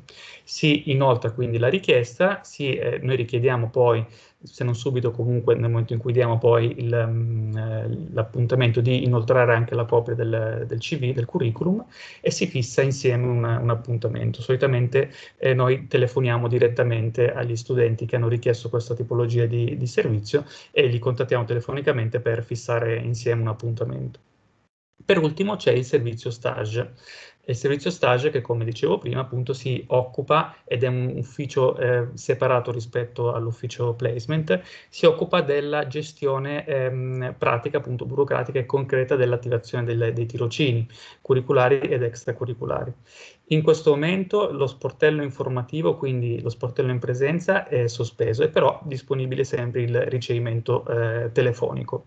Eh, gli, mh, mm, eh, le, I giorni di attivazione e i riferimenti che vedete qui all'interno di questa slide sono anche disponibili nella, sul sito internet nella sezione studiare stage. Quindi questi sono i servizi che eh, abbiamo eh, sviluppato e che portiamo avanti ehm, proprio eh, per, per, voi, sostanzialmente per studenti e laureati. Ehm, eh, adesso poi chiaramente ripasso la parola al professor Frigo, comunque siamo sempre a disposizione eh, a livello di ufficio sempre via mail o anche ai riferimenti telefonici che potete trovare sul sito internet eh, e niente, quindi è importante per noi avere anche un feedback da parte, da parte vostra, anche perché, ripeto, tutti i servizi che strutturiamo eh, hanno come destinatari voi, quindi è importante che ehm, siano, eh, siano utili soprattutto eh, anche in relazione al fatto che noi eh, ci avvaliamo delle competenze di professionisti esterni, quindi è importante ehm, gestire al meglio questo, questa tipologia di, di, servizi. Grazie mille, mi pare molto molto chiaro e, e, spero appunto che gli studenti che non conoscevano tutti questi servizi, che non li avevano già incontrati nell'ambito dei laboratori o più in generale nella ricerca dello stage abbiano avuto come dire, la curiosità quantomeno di eh, esplorare un po' le, le, le, varie offerte proposte, mi pare molto molto chiaro e molto utile. Eh, Grazie il tempo comincia, comincia, a scorrere molto velocemente, non, abbiamo, eh, non, abbi- non, non, è infinito, quindi dovremmo cominciare a contingentare un po' la, la gestione degli interventi. Ehm, vorrei comunque eh, eh, lasciare a Uberto, se è ancora con noi, la possibilità di rispondere in maniera veramente telegrafica, se riesce, alla domanda eh, che ha rivolto una studentessa e che trova qui di fianco. Eh, Uberto è ancora con noi? Perché non la vedo. Non la, non la sento, non la vedo. No, sì. Va bene, e, casomai la recuperiamo un po' più tardi, se, quando uh, Uberto ci eh, eh, ritorna collegato. Eh, una domanda appunto sulle competenze digitali e sulla natura esatta di queste competenze digitali. Eh, forse però diciamo che la, domanda, la, la, risposta a questa domanda in parte potrà venire dai, dai prossimi interventi ai quali eh, cedo subito la parola, cioè eh, ad Andrea Guerra e, e, a Cecilia De Luca che appunto eh, propongono un, un, intervento congiunto. Andrea, mi senti? Eccomi, ci sono. Buongiorno ecco, a tutti. Mi, mi attivi anche il video così ti vediamo. Eccomi. Perfetto, e Cecilia anche. Buongiorno. Appunto, ecco, uh, un intervento, diciamo, congiunto. Uh, non ti vedo ancora, eh, Andrea? Io sì, ho telecamera attiva. Io, ecco, adesso, perfetto, benissimo. benissimo. Quindi un intervento congiunto, dicevo, perché, perché ecco, ve lo diranno loro eh, fra un secondo, ehm, appunto si trovano a essere a lavorare insieme in un ambito eh, improbabile per gli studenti di filosofia, ma è una nostra laureata recentissima e quindi eh, tanto improbabile non è. Quindi anche, anche a voi chiederei di, di, di, presentare quello che, le varie idee che avete, che avete raccolto e che volevate proporci e agli studenti sempre l'invito a formulare anche mano a mano che l'intervento si svolge delle domande sulla chat in maniera tale che appena, a, a, appena l'intervento è concluso possiamo eh, girarle ai eh, contributori. Ti lascio la parola Andrea, vi, vi lascio la parola Andrea Cicino, non so se parlerete insieme come... come... Ci alterneremo. Perfetto, benissimo, allora lascio la parola a entrambi. Grazie mille per essere con noi e, e a, voi, a voi la presentazione. Allora, cominciamo ad attivarla.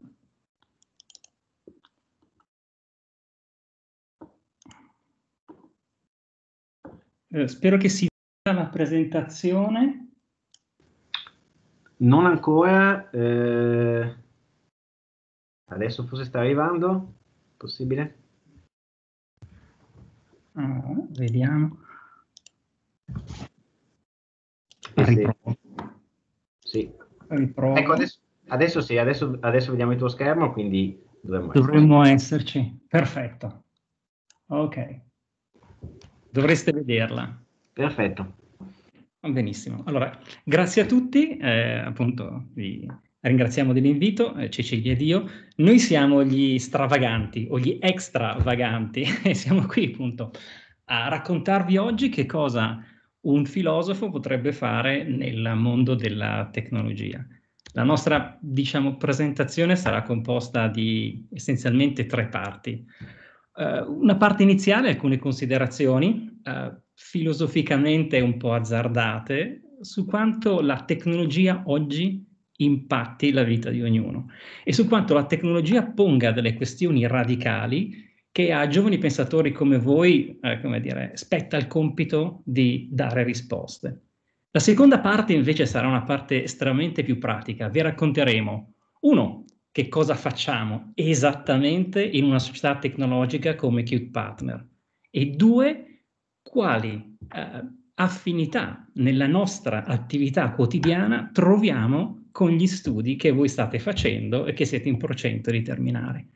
Ed infine alcune eh, discussioni, alcune opportunità e consigli che riprendono in realtà cose già dette ehm, pochi, pochi, interventi fa.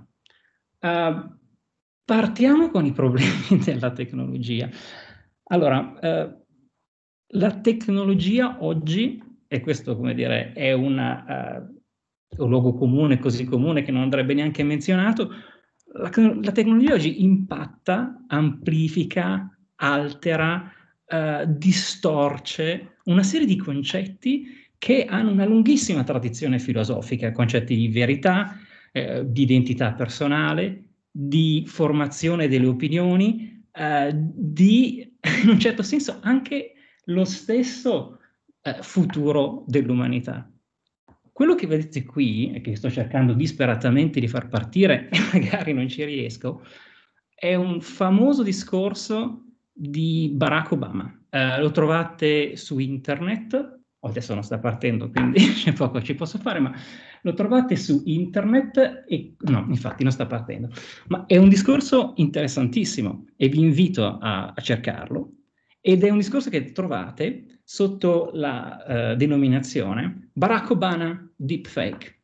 Questo un discorso è, è, notevole, è perfetto. Io vi invito a guardarlo e a rendervi conto se l'interlocutore, se quello che vedete veramente è Barack Obama o meno. Opla. Niente, no. Bene, ciò che voi vedrete, che oggi non riesco a farvi vedere, ma quello che si vede è un Barack Obama che parla, parla perfettamente, ha la sua lingua, la sua gestualità e dice delle cose estremamente interessanti. Per esempio, eh, Donald Trump è un perfetto idiota. Ora, questo video, che adesso sta partendo, è un video che non esiste. Eh, Barack Obama non ha mai parlato, eh, non ha mai pronunciato quelle frasi e eh, non ha mai detto quello che ha detto. È un video prodotto da un'intelligenza artificiale che si chiama Deepfake. È in grado di riprodurre di, uh, dire, dei video, delle, uh, dei documenti che sono assolutamente indistinguibili dalla realtà. E questo pone il primo dei grandi problemi. Se noi immaginiamo che nella nostra tradizione filosofica, che la vera... entering an era in which our enemies can make it look like anyone ecco. is saying anything at any point in time even if they would never say those things. So, uh, for instance, they could have me say. Va bene, ve lo risparmio perché sennò uh, perdiamo ulteriore tempo, ma questa intelligenza artificiale ha ricreato questo personaggio che in realtà non esiste. Quindi abbiamo una creazione artificiale di un oggetto eh, che, uh, come dire, ci dà una percezione della verità. Uh, in un'epoca in cui noi diamo all'immagine un enorme potere, Instagram, Facebook e così via, il fatto che alcuni filmati siano assolutamente veri è una questione abbastanza delicata. Come dire, impatta il nostro senso della verità. Se la verità è aderenza alla realtà, nel momento in cui la realtà viene uh, alterata, è la stessa verità ad essere attaccata. Il modo in cui noi ci form- formuliamo le opinioni oggi è dato da, dire, dai social media, dalle piattaforme di diffusione di contenuti digitali. Non vorrei fare una considerazioni, come dire, né sociologiche né eh, filosofiche alla matriciana, quindi farebbero accaponare la pelle ai più filosoficamente dotati di voi. Però siamo di fronte a un problema enorme, a un problema relativamente alla formazione del consenso. Se qualcuno ha avuto occasione di seguire le elezioni americane del 2016 e del 2020, beh, ha sentito dei dibattiti enormi relativi al ruolo dei social media. Ah, anche qui su internet trovate un documento molto interessante ed è la deposizione al Senato, alla Commissione del Commercio del Senato il 28 di ottobre di due signori qua sotto. Uno è il famosissimo, celeberrimo Mark Zuckerberg, fondatore di Facebook, e l'altro è Jack Dorsey, che è l'analogo di Twitter. Beh, come sapete, nelle elezioni americane, queste ultime elezioni americane, sono state contraddistinte per la prima volta da una dei social media. Cosa voglio dire? Beh, da una parte Twitter a un certo punto, pochi giorni prima delle elezioni, ha cominciato a bloccare la diffusione di informazioni relative al figlio di, um, di Biden, eh, Joe Biden, eh, il quale veniva accusato di, di, di, aver avuto degli intrallazzi con paesi esteri, con l'Ucraina. E Twitter ha ritenuto che queste cose fossero, come dire, delle panzane enormi, probabilmente lo erano, e che avrebbero alterato la percezione di alcuni elettori eh, della, eh, de, de, della parte avversa ai repubblicani.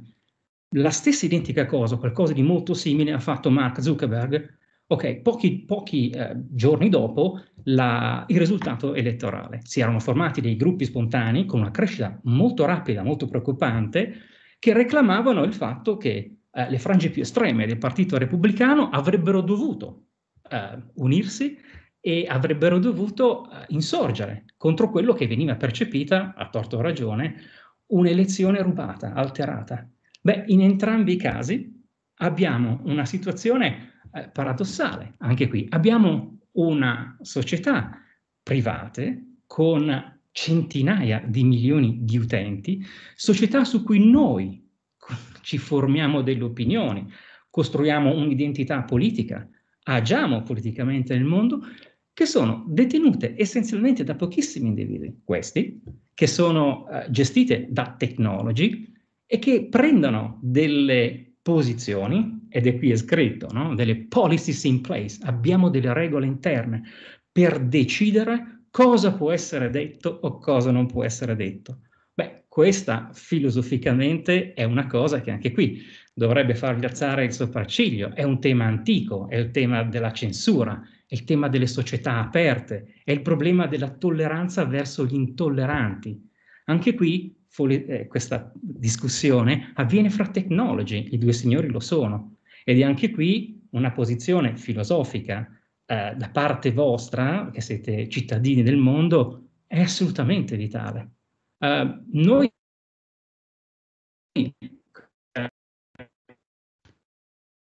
siamo dire, immersi nel digitale, ma siamo anche produttori di digitale.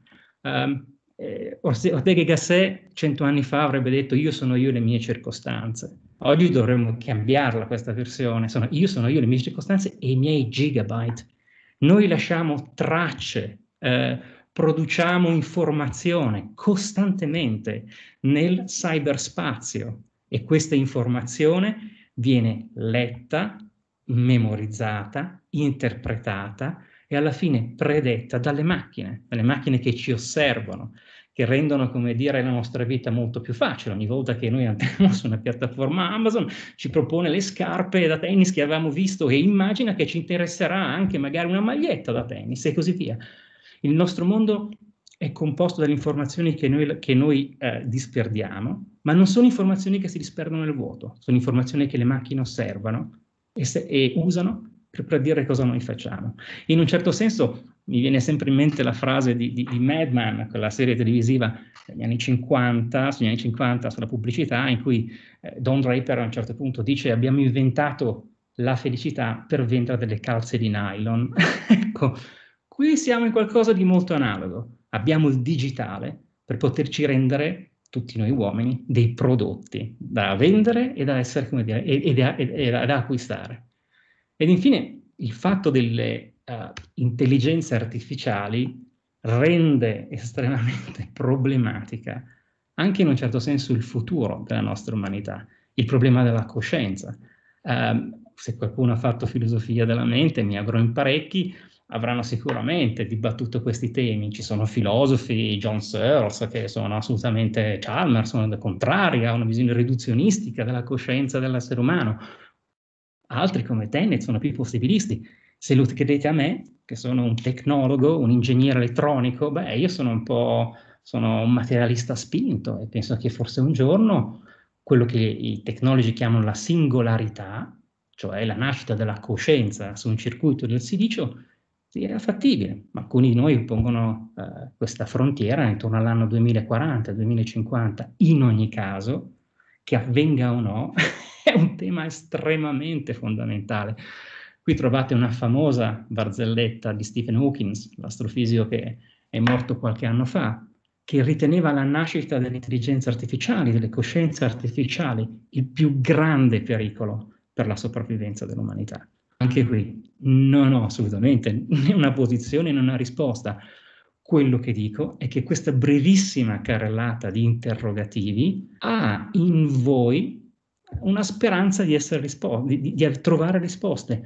Voi siete gli eredi di una tradizione filosofica occidentale di 2500 anni, avete quindi degli strumenti culturali importantissimi relativamente alla verità, a che cos'è la conoscenza, a che cos'è la libertà, a che cos'è la tecnologia, che eh, dire, vi pongono al centro del dibattito. E come, dire, come consiglio generale di vita è che non lasciate i tecnologi, ok, e gli ingegneri come me, eh, giocare come apprendisti stregoni su questo genere di cose. Ora, scendiamo dall'empirio e eh, vi racconto esattamente che cosa facciamo in Q-Partner tutti, tutti i giorni. Allora, noi in QPartner in tutti i giorni ci occupiamo di questa cosa. cito l'articolo 642 del codice di, di procedura penale, cioè cito una cosa che apparentemente sembra innocua, che è eh, tema, la tematica delle frodi alle assicurazioni. Ora, detta così, è la cosa meno sexy del pianeta, cioè immaginare le frodi alle assicurazioni, ma in realtà la percezione delle frodi delle assicurazioni è una percezione in gran parte sbagliata.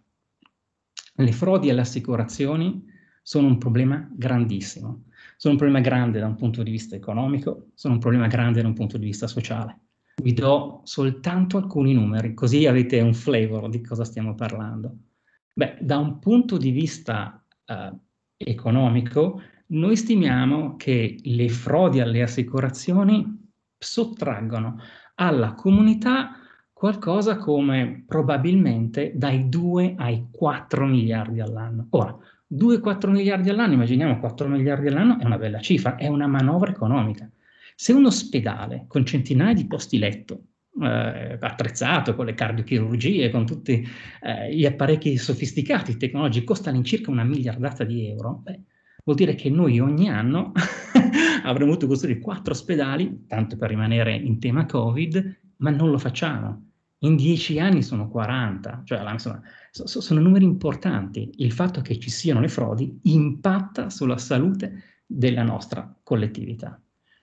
Secondo altro punto, questo flusso di denaro non va in gran parte, come uno potrebbe immaginare, al poveretto che ha fatto un incidente, e va lì e dice, oh, c'ho un mal di collo terribile, vorrei un risarcimento. Questo, questo no, purtroppo non è più così. La gran parte di questo denaro alimenta, va a strutture estremamente organizzate, estremamente capaci e gestite dalla criminalità organizzata, essenzialmente dalla Camorra, uh, dall'Andrangheta, eh, ed ecco perché quel riferimento sinistro a una, a una siringa e a della droga.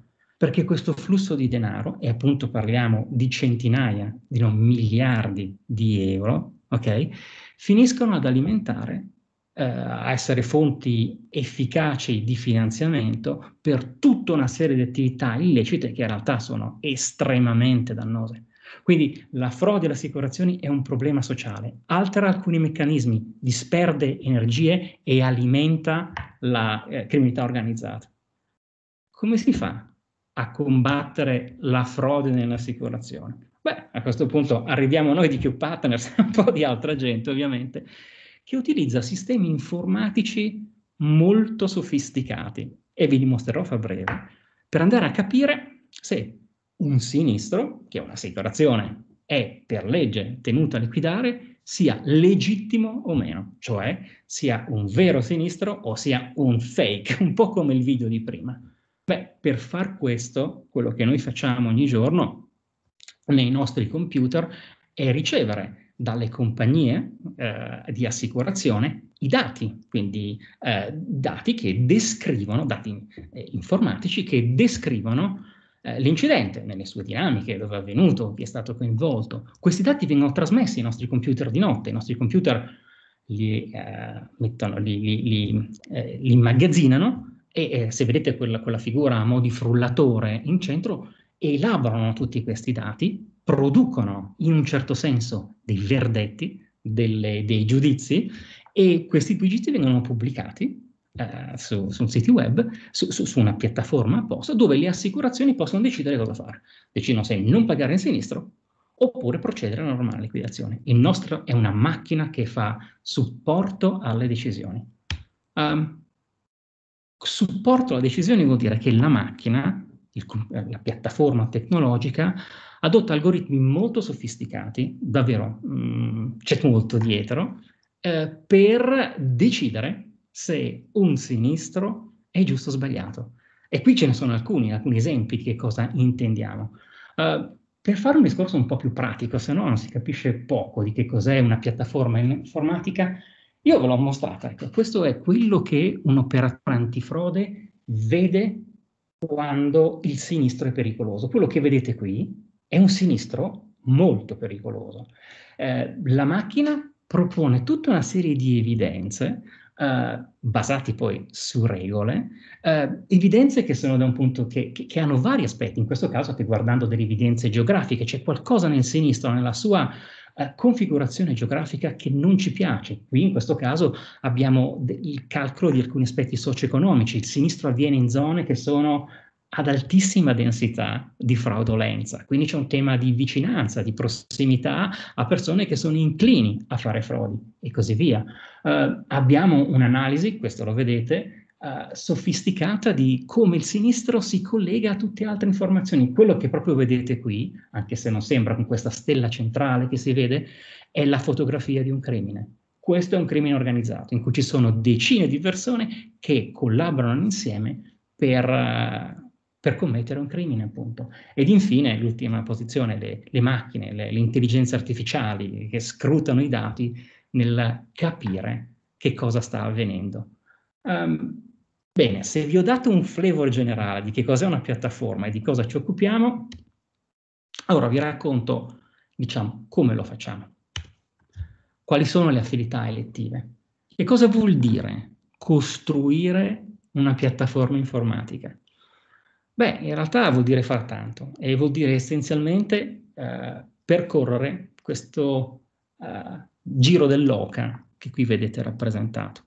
Nel nostro caso, per costruire il detector, questo giro dell'OCA l'abbiamo percorso in circa eh, 6.000 giorni uomo. Che cosa voglio dire? Beh, vuol dire che se uno oggi si mettesse, adesso, in questo momento, a ricostruire il detector, cioè quella piattaforma che vi ho mostrato prima, beh, inizierebbe adesso e finirebbe grosso modo il 13 maggio del 2037, probabilmente nel tardo pomeriggio. E cosa farebbe in tutto questo tempo, in questi 17 anni di duro lavoro?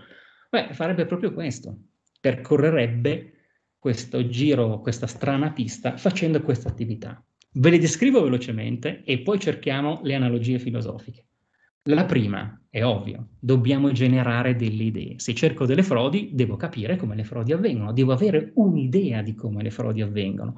E già qui c'è il primo, come dire, dei punti di contatto con ciò che è stato detto prima studi di questo tipo, capire che cosa accade in una frode, vuol dire mettere insieme in maniera multidisciplinare persone diverse. Chi di frodi se ne intende, a volte chi di frodi le commette, il tecnologo che è capace di scrivere gli algoritmi, l'architetto informatico che si occuperà dei computer che dovranno farle, ma anche lo psicologo, ma anche chi è esperto di comunicazione e chi è esperto di comportamenti umani. È un dibattito interdisciplinare estremamente fecondo.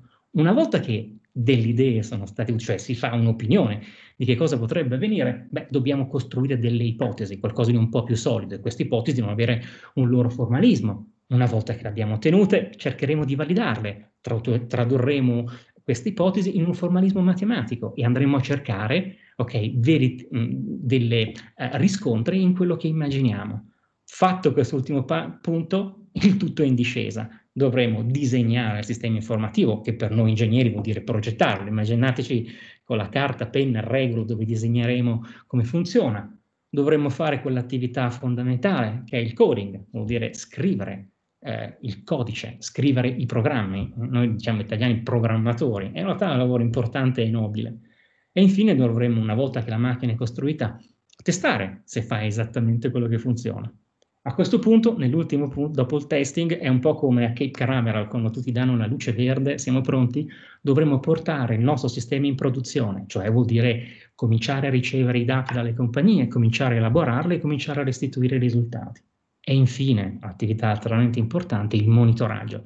Dobbiamo come dire, e siamo i, padroni de, de, della vaporiera e dobbiamo tenere sotto controllo che la macchina e la macchina del vapore continui a funzionare, monitorare le nostre, ma, le nostre macchine. E da ultimo, importante, importantissimo, è un lavoro di astrazione, un po' un passo indietro, per andare a capire se le macchine i risultati che otteniamo sono esattamente quelli che ci aspette, aspettiamo e se ci sono delle discrepanze dobbiamo agire e dobbiamo capire se abbiamo nuove idee e se ce l'abbiamo il giro ritorna all'inizio, allo step one e così via. In alla fin fine, negli anni, a mo' di spirale, costruiamo il nostro, spiraleggiamo verso la soluzione e costruiamo il nostro sistema informativo. Ora, tutta questa attività, ma che c'entra con la filosofia? Allora, qui mi sono preso qualche libertà, quindi seguitemi con, con, con uno spirito di tolleranza.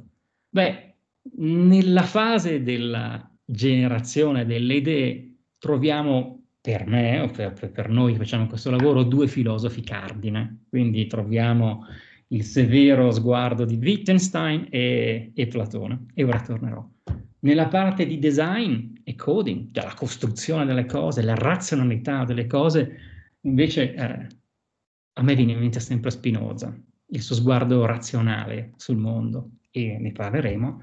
E infine, da ultimo, il pezzo, come dire, più importante, l'analisi dei dati, che è il tema, eh, come dire, eh, principe di quello che noi facciamo. E qui ci troviamo la Cecilia. Io parlerò dei primi tre blocchi e poi passo la parola a Cecilia che nel dettaglio vi racconterà che cosa fa un data analyst. Torniamo alla slide appunto della generazione delle idee. Allora, la generazione delle idee è un'attività profondamente erotica, è probabilmente l'attività erotica che possiamo fare senza coinvolgere i nostri organi genitali ed è un'attività profonda. Eh, non mi può non venire in mente il uh, simposio di Platone uh, e non può, quando parliamo di generazione delle idee, non, uh, non possiamo non ricorrere a Platone. Platone ci insegna la tecnologia del dialogo, come si fa a parlare con la persona, come si fa a costruire una verità più grande di quella dei simboli. E qui lo troviamo proprio nel, nel come dire, ha espresso all'ennesima potenza. Ovviamente Simposio non parla di sistemi informativi, parla di amore, parla di legami erotici e parla di legami erotici che sono generativi. Beh, bene, quando noi dobbiamo trovarci intorno a un tavolo, tutti persone diverse, con competenze diverse, con storie diverse, dobbiamo generare un'idea, è esattamente quello che facciamo. Dobbiamo metterci in collegamento con qualcun altro in un legame generativo. Dobbiamo essere in grado di mettere a fattor comune le nostre competenze con quelle degli altri. Dobbiamo imparare ad ascoltare, a farci ascoltare, a capire le sottigliezze, ad esprimerci correttamente. Siamo in tutta in questa in questa attività sofisticata ed estremamente eccitante che è appunto il creare qualcosa di nuovo. Platone inoltre nel dialogo, fra le tantissime cose che dice, quindi non, so neanche, non oso neanche come dire avventurarmi, parla a un certo punto di desiderio.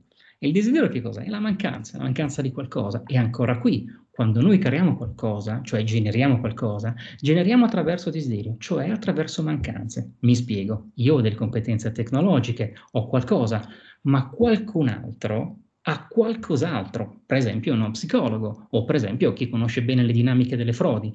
Creare quindi vuol dire desiderare qualcosa che non ho. Per creare devo desiderare qualcosa che non ho, devo mettere a fattor comune competenze diverse. E allora in sintesi, mettere fattor comune competenze diverse, cioè mancanze, in una relazione potente e generativa ed eccitante, come quello di creare qualcosa di nuovo, è esattamente una relazione erotica. E quindi insomma è un invito al fatto a non vedere il nostro lavoro di computer e numeri come qualcosa di freddo, è esattamente l'opposto. Beh, non potevo non mettere Wittgenstein in questa brevissima carrellata, un po' perché siamo colleghi, lui era, ingegnere, era un ingegnere aeronautico, ma ancora stiamo parlando della, del dialogo, della dire, attività principe di quello che noi in realtà technology facciamo.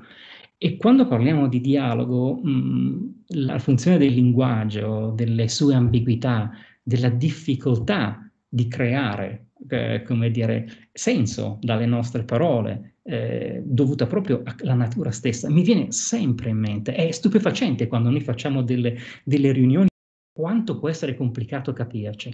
E noi spendiamo moltissimo tempo nella chiarificazione di quello che stiamo dicendo. Quindi Wittgenstein è un, assolutamente un must have quando uno va in una riunione.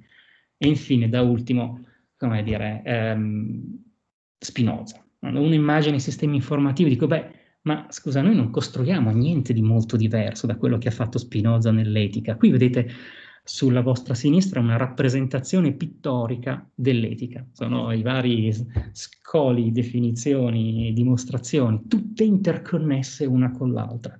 È un'architettura informativa, cioè di pezzi di informazione, che crea una conoscenza sofisticata. Beh, alla vostra sinistra trovate esattamente la cosa che noi facciamo. Cioè, questo è una porzione del nostro database, dove vengono messe insieme le informazioni. E non vi sfuggirà che sostanzialmente e analogamente sono molto molto simili. Ogni pezzo di informazione è connessa con un altro secondo una logica molto ben precisa. Quindi, chi sa leggere, come dire, chi ha eh, sa affrontare l'etica di Spinoza non ha nessunissimo problema ad affrontare, a scrivere eh, un, un, sistema informativo e a rappresentare l'informazione all'interno. Ora, l'ultimo pezzettino è quello di, eh, di Cecilia, a cui cedo la parola. Sì, buongiorno a tutti. Mi sentite? Si sente? Sembra di sì.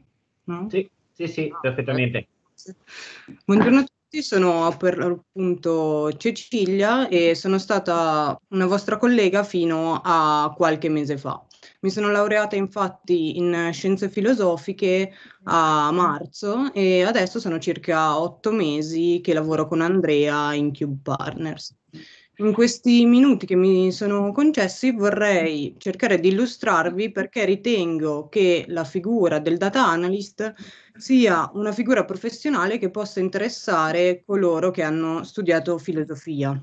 In particolare vorrei ehm, dimostrare in qualche modo come fare il data analyst implichi trattare di problemi filosofici molto rilevanti, anche se da una prospettiva leggermente diversa rispetto a quella a cui siamo abituati in università.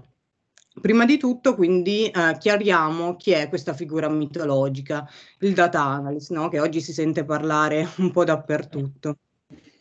Uh, più che chi è, dobbiamo dire che cosa fa.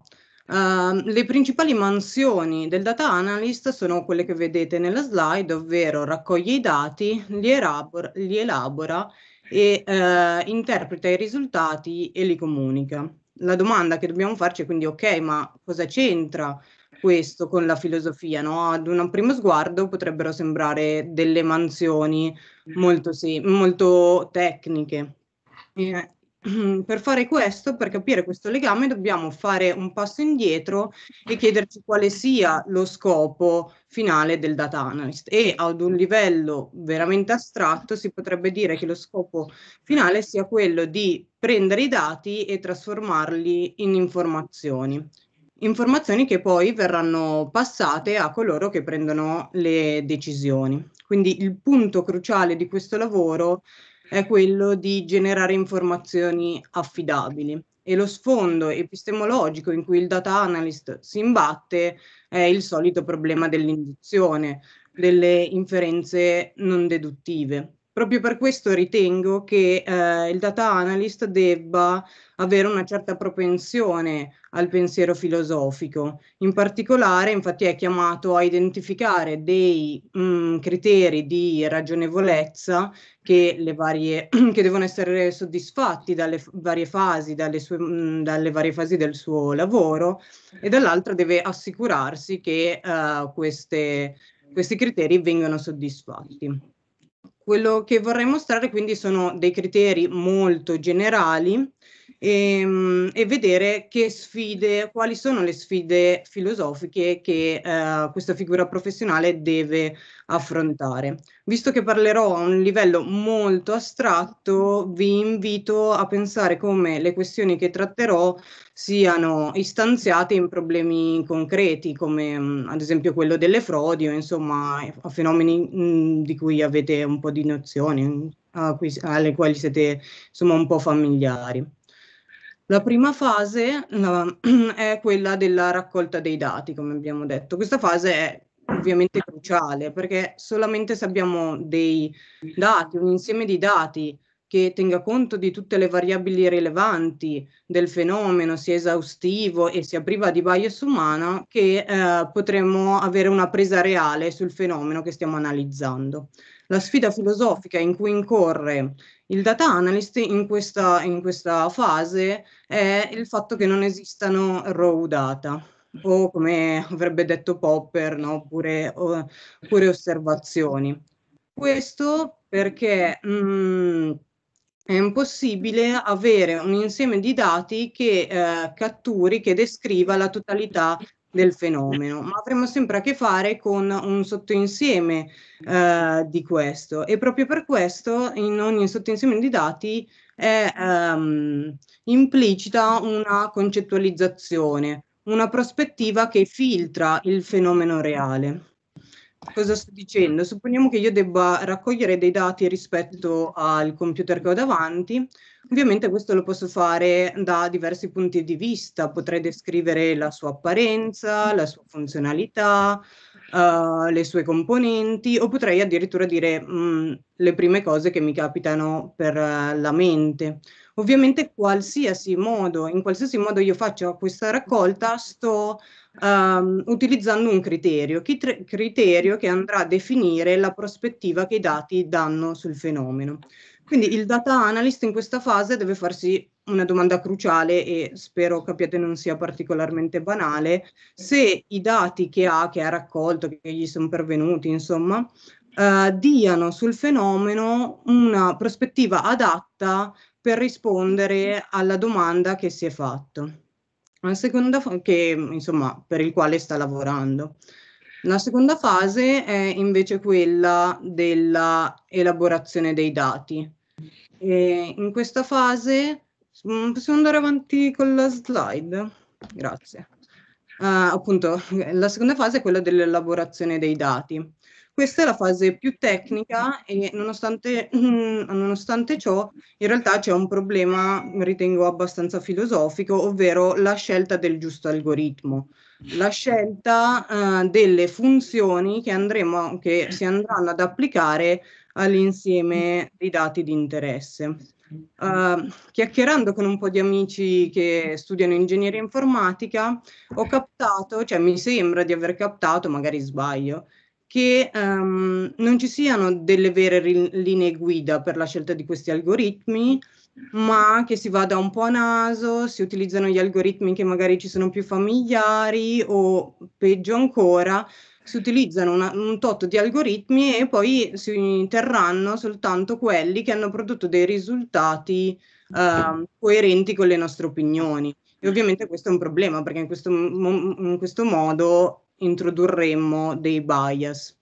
Uh, il punto cruciale è che uh, deve essere il fenomeno a dettare la scelta dell'algoritmo e non viceversa. E anche qui mh, mm, non è un compito tecnico, bisogna comprendere esattamente uh, il fenomeno e dall'altra parte capire l'implicazione dell'applicazione di certi algoritmi. L'ultima parte, l'ultima fase del lavoro del data analyst è l'interpretazione dei risultati e la uh, comunicazione di questi. E qui il data analyst deve assicurarsi che uh, vi sia della significatività per il reale, significatività che declinerei in due modi. Da una parte um, data analyst deve assicurarsi che il fenomeno, che i risultati che ho ottenuto, ottenuto siano, mh, abbiano una presa reale sul fenomeno no? e che non siano, ad esempio, uh, delle correlazioni spurie. Vabbè, cosa sono le correlazioni spurie?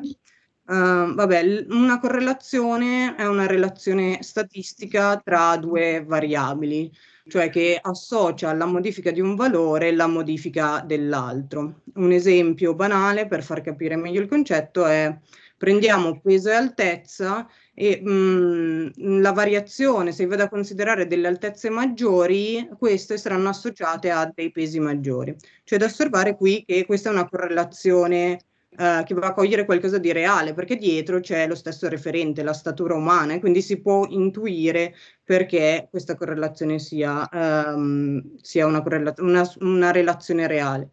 Invece le correlazioni spurie sono quelle relazioni che sono casuali, no? come in questo grafico potete vedere uh, una correlazione positiva tra i divorzi, il numero di divorzi nel Maine e la quantità di margarina consumata. Ovviamente se io fossi un produttore di margarina sarebbe assurdo se io andassi a contare quanti divorzi ci sono stati in questo, nel Maine per decidere quanta margarina eh, produrre. Quindi cioè, questa è una relazione spuria, qualcosa che mh, mm, cattura un fenomeno puramente casuale. Quindi data analysis deve assicurarsi uh, che questo non avvenga. Dall'altra parte deve comunicare i risultati che ha ottenuto, le informazioni che ha ottenuto a, a, persone che magari hanno un background differente e non, sono, non, hanno, stesso, mh, uh, non hanno le sue stesse capacità tecniche e matematiche quindi deve avere delle buone capacità eh, di comunicazione e ritengo anche che sia importante che conoscano o abbiano una conoscenza quantomeno di base dei bias cognitivi. Infatti il modo in cui andrà a um, compilare il report o insomma presenterà le informazioni che ha generato uh, può influenzare il modo in cui inter gli interlocutori uh, ricevono queste informazioni. Cosa sto dicendo? A seconda di cosa presento prima e cosa dopo, Uh, i colori che utilizzo nei grafici, insomma, tutte queste cose sono um, il data analyst deve stare attento a molti aspetti e proprio per questo ritengo sia una professione estremamente poliedrica con mille sfaccettature e noi che abbiamo studiato filosofia potremmo essere sia interessati sia potremmo fare molto bene.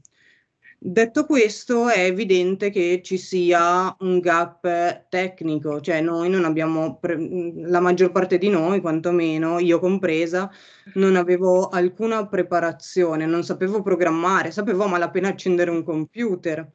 Uh, quindi a chi di voi è interessato a cimentarsi, è interessato a questo tipo di opportunità, uh, gli consiglio di um, iniziare il più presto possibile a programmare.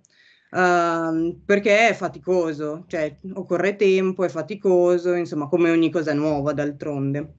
Uh, posso assicurarvi però che questa fatica sarà poi ripagata dalla possibilità di entrare boh, in un mondo effervescente, come ha mostrato Andrea, uh, contemporaneo, ma soprattutto, cosa che ritengo più importante, le conoscenze che si acquistano in questo, in questo ambito permettono di comprendere meglio il mondo odierno e le sue dinamiche. E questo è tutto, passerei di nuovo la parola ad Andrea per le ultime considerazioni. Um, Ok, perfetto, siamo ormai in, in chiusura. Um, beh, una considerazione che è stata fatta assolutamente in maniera magistrale eh, prima, cioè il, il, tema delle opportunità. Il settore tecnologico mh, oggi ha una carenza di personale eh, che è drammatica. Allora, qui io cito una stima di Confindustria che parla di una mancanza di 300.000 figure professionali, cioè l'Italia non sarà in grado di mettere a disposizione delle industrie come la nostra personale. E altre stime sono ancora più gravi, chi dice 400.000, 500.000. Bene, fatevelo dire da chi è da questa parte della barricata, il nostro più, pro, più grande problema non è affatto trovare clienti o costruire il sistema più eh, performante del mondo. Il nostro più grande problema è trovare talento. Um, trovare persone che sono in grado di lavorare con noi. È un dramma. Ora, il tema del talento è un tema strategico. Io sono perfettamente convinto che uno dei motivi per cui l'Italia oggi fa fatica a competere sull'arena internazionale è proprio per la mancanza di una cultura, dire, tecnica, eh, di una mismatch fra ciò che l'industria ha bisogno e ciò che il paese produce. Però, e spero di avervi convinto durante questa ra- presentazione, penso anche che i laureati nelle humanitas siano portatori eh, sani di un enorme talento, quel talento di cui discutevamo prima, la tecnologia del dialogo, la capacità di porre domande radicali, eh, la capacità di non accontentarsi dell'ovvio, che sono quelle metacompetenze che sono state eh, descritte nelle, nelle, presentazioni precedenti così bene, che sono vitali, queste competenze della vita che diventano anche competenze sul lavoro. Noi quando assumiamo qualcuno, cerchiamo un uomo su cui poi costruiremo un tecnico, ma sappiamo benissimo che se non abbiamo l'uomo, il tecnico che ne uscirà sarà mediocre, non ce ne facciamo nulla. Quindi in realtà quello che voglio dirvi è che io ritengo realmente che un ragazzo oggi che ha una buona lavorazione filosofica sia una sorta di Ferrari, che forse farà un po' fatica all'inizio, ma messa in pista riuscirà a funzionare molto bene. Come si fa a mettere in pista questa Ferrari, come dire, ancora senza ruote? Beh, nel nostro settore è importantissimo che ci aiutate. Cioè, noi abbiamo bisogno di talenti e voi talenti lo siete, però c'è un pezzettino, c'è un, un, uno scalino iniziale di quello che uh, accennava um, Cecilia e di quello che è stato detto. È uno scalino imprescindibile. Fortunatamente, se vi siete, come dire, eh, rotti la testa su Hegel, avete passato notti su Kant, vi siete dilettati con Spinoza, beh, non saranno degli scalini insormontabili, ma ci sono ed è meglio saperli. Il primo è la lingua inglese. È, è inutile dirlo, è quasi imbarazzante dire una novità di questo genere, però eh, è in, impossibile non, non saperlo. Un secondo punto importante, un'alfabetizzazione numerica, oppure una numeritizzazione di base, chiamatela come volete, ma per favore inserite nel vostro piano di studi okay, una serie di eh, esami eh, relativi per esempio alla statistica di base. È impossibile oggi, ma non solo per, per chi vuole lavorare nella tecnologia, ma per chi vuole capire il mondo, sapere che cosa, è, che cos'è una distribuzione, che cos'è una media ponderata. Eh, frequentate, affollate i corsi di logica, inseguite il professor D'Agostino, fatevi, fate logica, fate teoria delle decisioni, cioè fate anche delle cose che sono abbastanza vicine al mondo tecnologico uh, vi permetterà di avere un curriculum forte in cui i, dire, um, i selezionatori guarderanno con attenzione. Terzo punto, coding games, la terribile parola, la programmazione. Allora, uh, non abbiate paura, veramente. Oggi investire un po' del vostro tempo qualche mese, da neolaureati, da laureandi eh, per passione, a imparare a programmare su alcuni linguaggi anche semplici, se avete voi, Python per chi si occuperà di dati, o per chi veramente vuole imparare l'esperanto del mondo tecnologico, il Java, è uno dei migliori investimenti che voi possiate fare. Come si fa? È facilissimo. Ci sono molte piattaforme di e-learning, di apprendimento a distanza, facili con corsi straordinari, costa 20 o 30 euro, un corso di Java fatto su Udemy, Coursera e così via. Oppure ci sono liberi, le grandi università americane, l'MIT, Stanford, Harvard, hanno decine di corsi dove potete imparare a programmare, imparare la tecnologia. Non, è, cioè, non c'è scusa per non farlo e non sono appunto così difficili come potrebbero sembrare.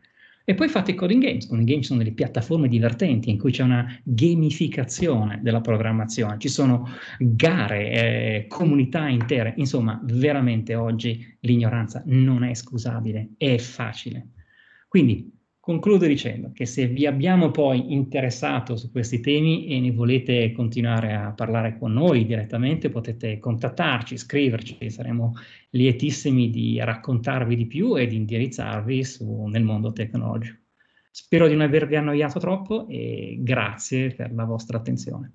Grazie, grazie molte Andrea, grazie Cecilia, siete stati estremamente chiari e ci avete aperto ecco, almeno per me un, un, mondo del quale ignoravo tutto e rispetto al quale avete suscitato una positiva curiosità e penso che sia lo stesso anche per eh, gli studenti.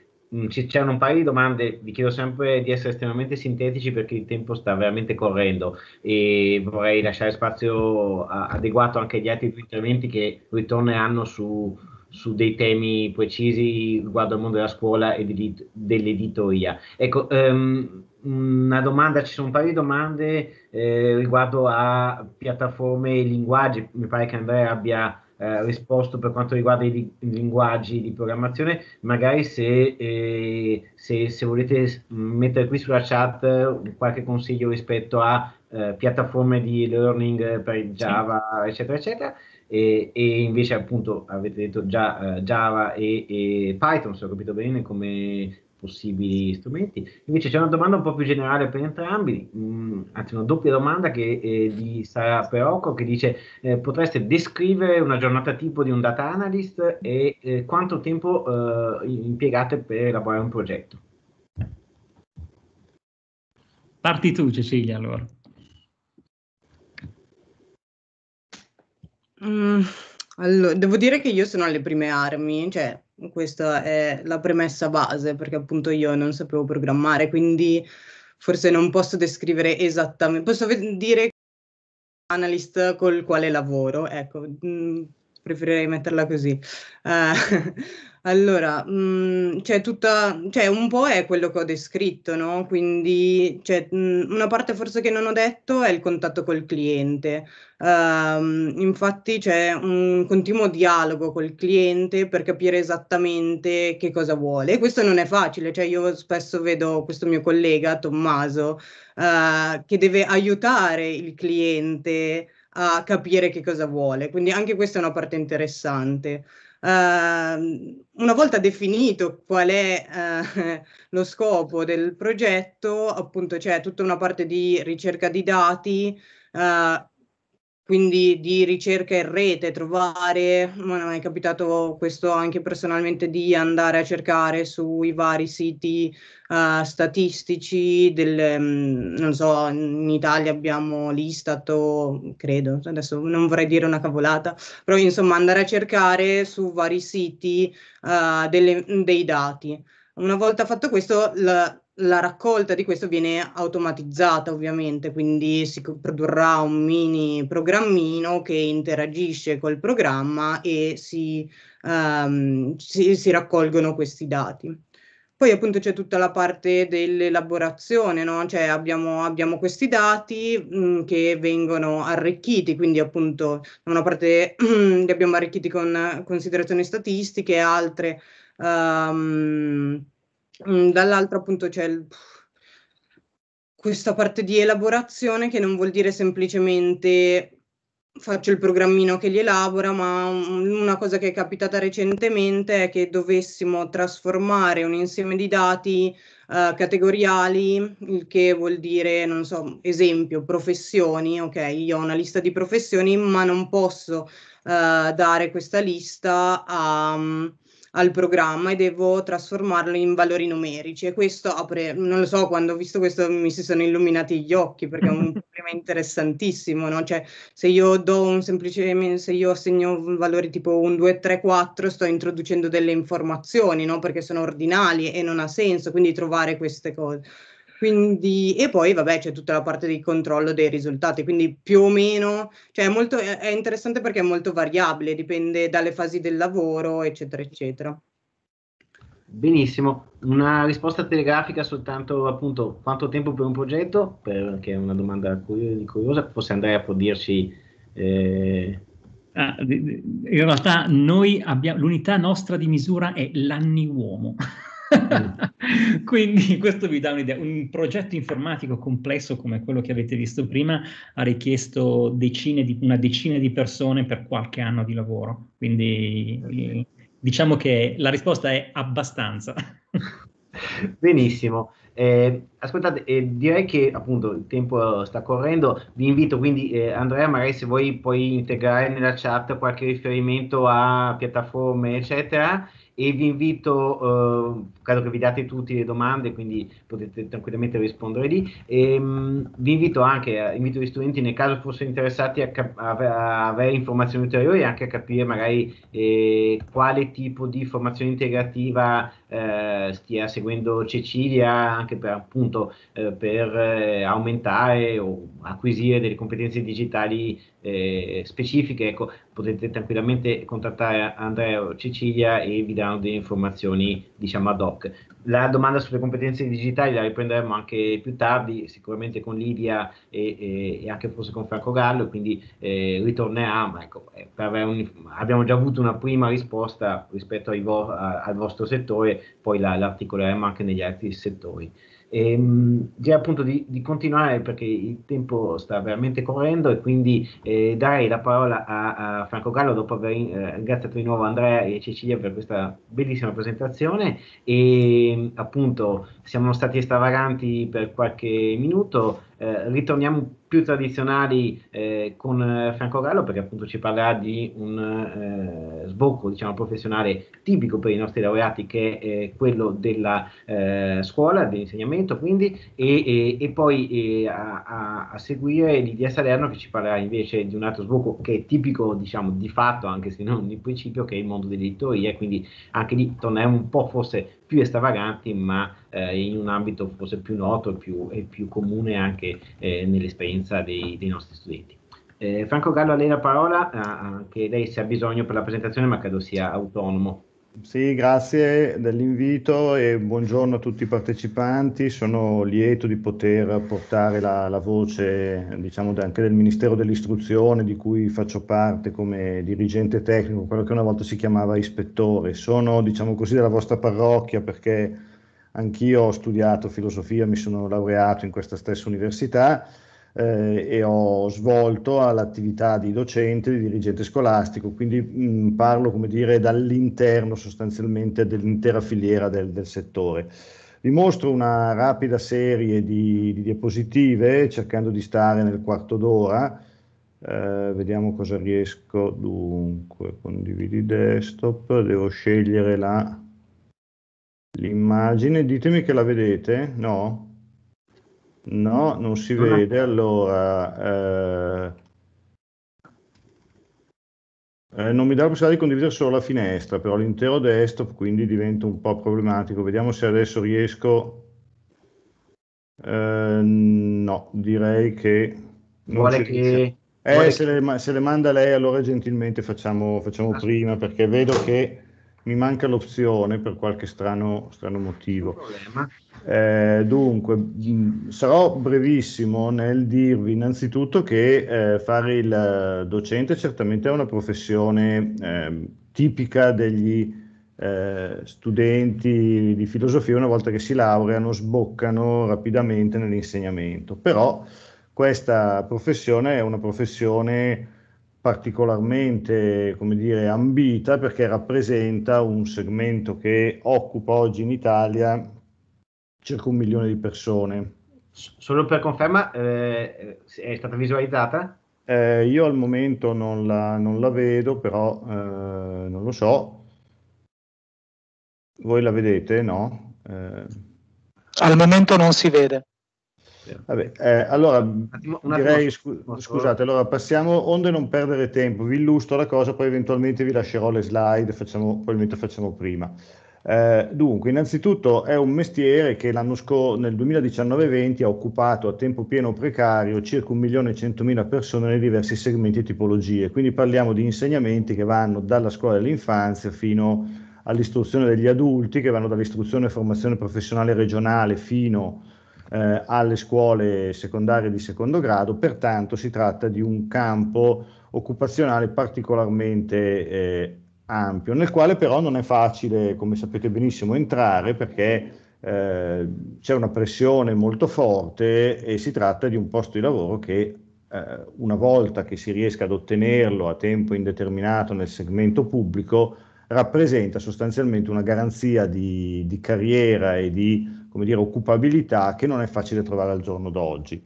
Eh, vorrei aggiungervi anche che l'85% del comparto circa è determinato dalle circa 8.200 istituzioni scolastiche statali, il restante dal sistema delle scuole paritarie e non paritarie, quelle che un tempo si chiamavano centri di preparazione, ma non entro adesso nei dettagli, eh, molto probabilmente a ciascuno di voi per ragioni che eh, espliciterò eh, a breve interesserà maggiormente il sistema della scuola statale, a cominciare dal fatto che c'è un delta retributivo a favore dell'impiego pubblico che è particolarmente, particolarmente significativo. Eh, quello della scuola statale è un uh, lavoro, come dire, che da una parte ha una dimensione burocratico-professionale, diciamo così, eh, weberiana, con un'attività diffusa, distribuita, che si svolge più o meno nello stesso modo dovunque, dal, da Mondovì fino a Catania, attraverso strumenti che sono sostanzialmente sempre i medesimi, cioè l'attività amministrativa sostanzialmente che consiste tra l'altro nel portare gli studenti attraverso il sistema delle valutazioni a superare gli anni di corso e a conseguire i titoli di studio. D'altra parte però eh, è un'attività anche eh, che va svolta in modo specifico, tecnicamente informato e operativamente connesso alla concretezza del gruppo di studenti che ci sono vivi affidati e che non possiamo non svolgere anche in una relazione organica, continua, sistematica con gruppi di colleghi spesso fortemente variabili. Quindi un mestiere contemporaneamente, diciamo così, burocratizzato e centralizzato quanto la sua modalità di esecuzione, perché risponde a una dimensione amministrativa standard, dall'altra parte però un mestiere che stimola in modo inevitabile al lavoro di gruppo, al confronto con la diversità dell'altro, al rapporto e concreto con persone in carne ed ossa, al soppesamento dei loro bisogni e delle loro potenzialità. Tutto questo ovviamente eh, fa sì che quella che è la dimensione contrattuale oggi esistente per i docenti col contratto scuola 2016-18 che prevede canonico impegno professionale di 18 ore per le scuole secondarie superiori come insegnamento diretto, più gli adempimenti individuali, più gli obblighi contrattuali di servizio per le attività collegiali, eh, rappresenti un, eh, diciamo così, eh, uno spaccato poco attendibile di quello che in realtà è il lavoro del docente. Eh, il lavoro del docente è difficilmente configurabile soltanto nel contesto di quella descrizione tipica degli orari di servizio, degli adempimenti individuali, degli obblighi per le attività collegiali aggiuntivi. Deve essere e tale rimane per chi lo affronta, e anche qui torno su un tema molto importante, con un'adeguata spinta vocazionale, perché non è un mestiere da missionari, ma non è un mestiere che si può scegliere eh, esclusivamente in, eh, in, come dire, in quanto rappresenti di fatto una buona garanzia di occupazione permanente. E questo perché, mi, mi preme dirvelo, il, la professione docente è una delle più esposte al disagio mentale professionale, al burnout, alla eh, tipica, come al tipico logorio dato da un eh, sovraimpegno di risorse emotive, comportamentali, caratteriali che vengono molto mal spese quando manca una struttura di personalità o alcune dimensioni tecniche di base nell'offrirla. Eh, detto tutto questo, vi voglio solo ricordare che al centro della professione docente oggi, come anche riportato nel contratto collettivo nazionale 2016-18, c'è il concetto di comunità educante, cioè noi non possiamo più immaginare la dimensione dell'insegnamento come una dimensione di professione professorale in cui un singolo che è, si riconosce in una disciplina come tale anche la professa, ma dobbiamo per forza di cose tenere presente che la professione che noi svolgiamo è la professione docente, cioè di guida e sviluppo verso un determinato traguardo di apprendimento degli studenti che ci sono affidati e questo lo facciamo in un contesto, ripeto, comunitario. Solo per eh, darvi, eh, lo troverete nelle slide, comunque un piccolo punto di riferimento, eh, diciamo così, eh, concreto. Sappiate che eh, la carriera di un docente laureato in una scuola secondaria superiore, sarebbe il vostro caso, oggi ha un delta importante tra il primo anno di servizio e l'ultimo, che si quantifica intorno a circa 1030 euro mensili lordi di differenza e 100 euro mensili lordi di differenza circa della eh, retribuzione professionale aggiuntiva che riconosce, diciamo così, eh, gli obblighi aggiuntivi che il docente si assume per il fatto che la sua professione non termina normalmente quando ha cessato di fare lezione. Eh, questo rappresenta indubbiamente, dato che l'ingresso è a 1820 lordi più 175 di RPD, di retribuzione professionale eh, aggiuntiva, e un 2850 più 280 alla fine carriera, un delta significativo, non così significativo come può avvenire all'interno di altri contesti del mondo del lavoro, tuttavia importante, come stipendio di primo ingresso andiamo intorno ai 1980 euro lordi, rappresenterebbe comunque vada eh, una soglia di, entrata non banale. Ovviamente c'è una cosa che dovete sapere, eh, la dimensione di massa del, dell'insegnamento preclude, cioè restringe fortemente poi l'imbuto a valle circa lo sviluppo di carriera, a fronte di circa eh, 900.000 docenti che operano nel contesto della scuola italiana, ci sono soltanto eh, meno di 7.000 dirigenti scolastici in servizio che hanno una struttura professionale e retributiva decisamente più importante, sono pochissimi come me i dirigenti tecnici in servizio, che sono gli ispettori ministeriali, per qualche motivo quello che era una professione che un tempo assorbiva almeno un migliaio di persone in Italia negli anni 60 e 70, oggi si è ristretta a poche decine di noi che ancora conservano questo, questo ruolo. Quindi eh, non esiste obiettivamente una dimensione di carriera, mh, come dire, pronost- facilmente pronosticabile anche per docenti particolarmente validi. È vero che nel contesto della scuola eh, le funzioni di un docente non si chiudono esclusivamente nella parte, come dire, tecnico-didattica della sua proposta agli studenti, ma comprendono tutta una serie di mansioni organizzative, operative, di collaborazione, di sviluppo, quelle che si chiamano funzioni strumentali o figure di sistema, che possono andare altresì a integrare la vostra, la vostra eventuale piattaforma retributiva secondo quantificazioni che vengono decise esclusivamente nel contesto delle contrattazioni di istituto.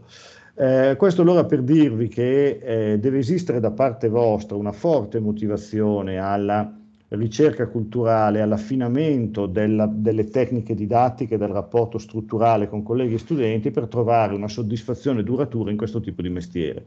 Questa è una primissima decisione che va presa, nel senso che insegnare porta certamente a confrontarsi con problemi molto concreti di gestione di risorse umane nel proprio perché valorizzare i propri studenti significa sostanzialmente valorizzare delle risorse umane in vista dei risultati, eh, tuttavia non è una professione che si può svolgere in modo sistematico per un'intera carriera se non, ci, se non si eh, contempla chiaramente la possibilità molto concreta che questa professione rimanga come dire, la medesima per l'intero sviluppo della propria vita professionale. Ovviamente è una professione che ha dei cambiamenti notevolissimi al suo interno e, e che affronta dovuti all'avvicendarsi dei profili generazionali eh, e il non sapere gestire tecnicamente questo rapporto con i diversi profili generazionali che via via si avvicendano nel corso della nostra carriera è uno degli elementi tipici di fallimento degli insegnanti, perché quando si comincia ad insegnare ad un'età relativamente giovane, la struttura di personalità e l'orizzonte degli interessi e della propensione verso il mondo sono ancora abbastanza simili a quelle delle generazioni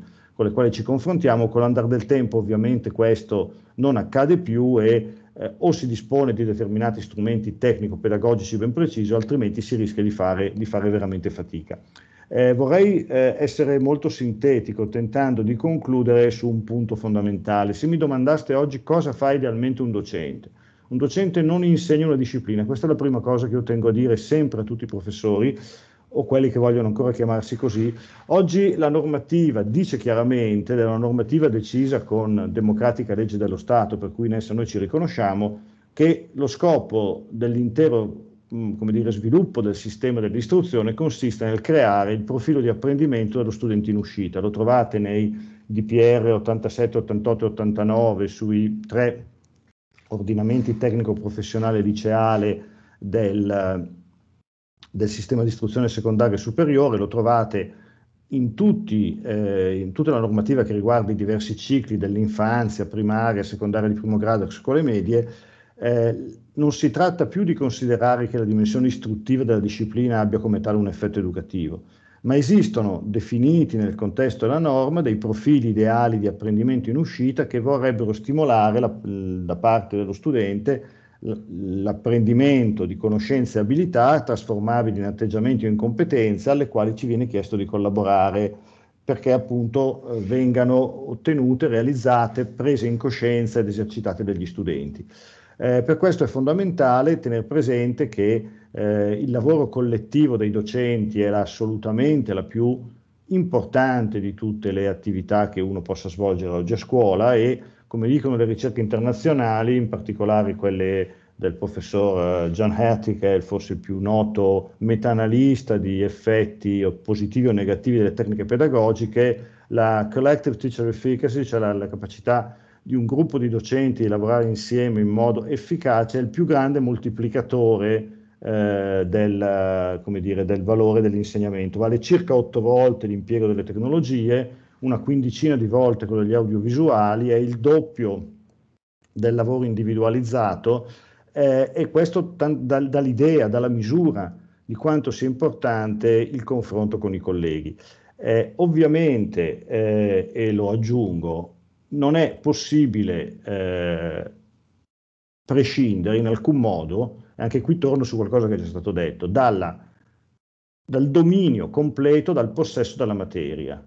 Eh, è, è, imprescindibile nel senso che solo il possesso della materia permette di selezionare in modo coerente quei profili di cernita dei contenuti e di individuazione degli elementi culturali che sono indispensabili per il gruppo con il quale dobbiamo operare. Ma l'insegnamento però è un mestiere, ha una dimensione specifica tecnico-operativa che deve essere dominata oltre e al di là del possesso della materia.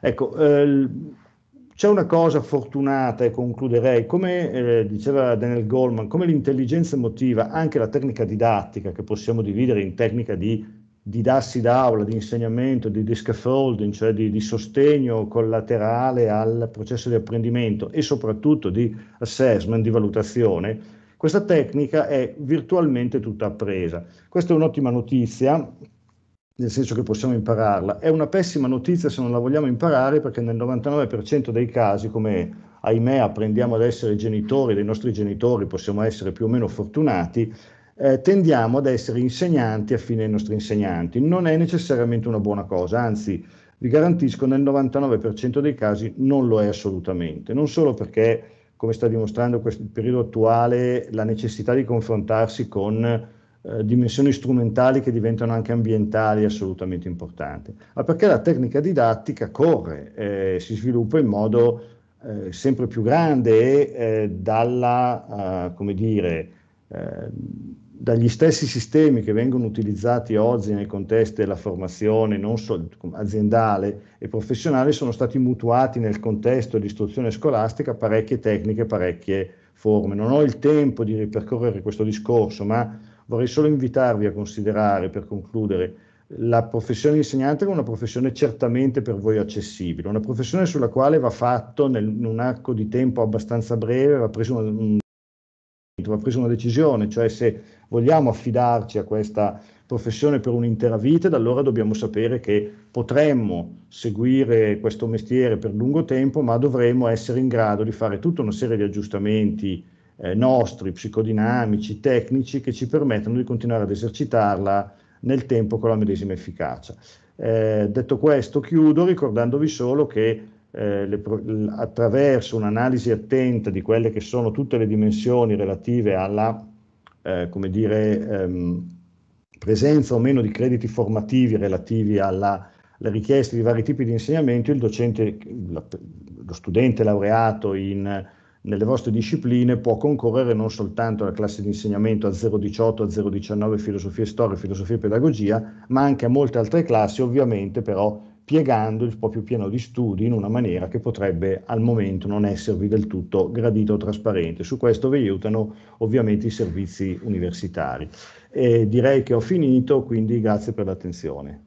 Grazie mille, è stato molto molto chiaro. Eh, non so se appunto se la visualizzazione è andata in, a, in porto, in ogni caso magari se lei non ha, non ha obiezioni metteremo le slide tra i documenti della, del gruppo così. Sicuramente eh, possono metterlo, ve lo mandate apposta. Perfetto. E c'è una domanda che anche per lei è un intervento eh, molto utile e anche molto chiaro su alcuni punti che magari di solito vengono passati sotto silenzio nelle presentazioni sul mondo della scuola. Una domanda, eh, non so se la vede qui di fianco, di Sebastiano De Cilis che chiede eh, se è possibile avere un suo intervento, Franco Gallo, sulla relazione tra il fornire un'educazione e conferire competenze agli studenti nei vari livelli nella prospettiva sia dell'insegnamento del mondo, dell'inserimento del mondo del lavoro, sia della formazione dei cittadini. Quindi una domanda un po' sul rapporto tra educazione e eh, competenze e sì, sarò, eh, sarò, brevissimo su questo, nel senso che, come sapete, intorno al concetto tecnico-pedagogico di competenze si è acceso un dibattito che è stato inevitabilmente inasprito dal fatto che il concetto è stato assunto in documenti amministrativi programmatici di vari ministeri, di varie istituzioni anche sovranazionali. Eh, non c'è dubbio che nel momento in cui noi eh, come, come scuole autonome siamo stati spinti dal Ministero alla ricerca della dire, di, di, una forma didattica che agevolasse l'interiorizzazione delle competenze, ci siamo spostati moltissimo dalla dimensione istruttiva, di, pertanto propedeutica, ginnasiale in fondo, no?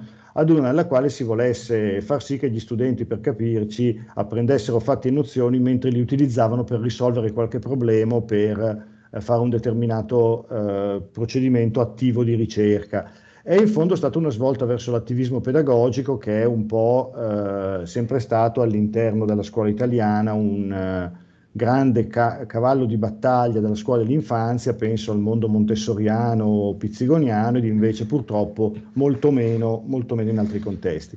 Non c'è dubbio che ehm, è molto difficile, eh, diciamo così, eh, trovare nella scuola, probabilmente anche come l'abbiamo frequentata noi, esempi concreti di questa applicazione, però in tempi recenti vi garantisco che la diffusione di metodi eh, come la deprecata, per me assolutamente non deprecabile, invece alternanza scuola-lavoro, come il frequente utilizzo del metodo del Jigsaw, come il service learning, come la didattica della ricerca, come la didattica breve, eh, come il problem solving, come il debate, stanno diventando nelle classi delle scuole italiane delle dire, esperienze estremamente frequenti.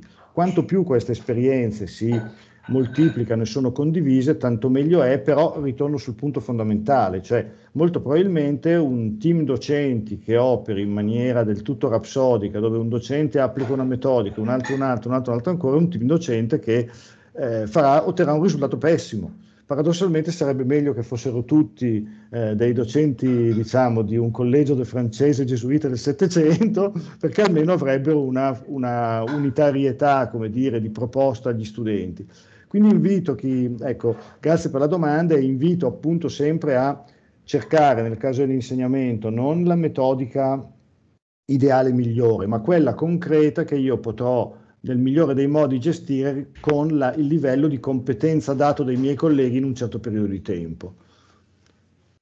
Grazie mille, mi pare un'ottima risposta ed è un punto appunto che, che, che bisogna tenere da conto, soprattutto se alcuni studenti capiterà, alcuni degli studenti capiterà di eh, ottenere alcuni crediti in didattica della filosofia che sono dei, un, uno dei corsi che ho inserito nella formazione dei cosiddetti FOR 24, cioè i 24 crediti che vengono eh, richiesti per poi accedere al concorso per l'insegnamento in una scuola eh, secondaria. Ecco, avrete molte informazioni su tecniche più o meno contemporanee, più o meno sviluppate più o meno affascinanti, però ecco, va tenuto conto anche di questa dimensione molto concreta e anche sul, dell'efficacia poi di queste tecniche quando vengono applicate in maniera isolata o estemporanea o, o non coordinata in ogni caso.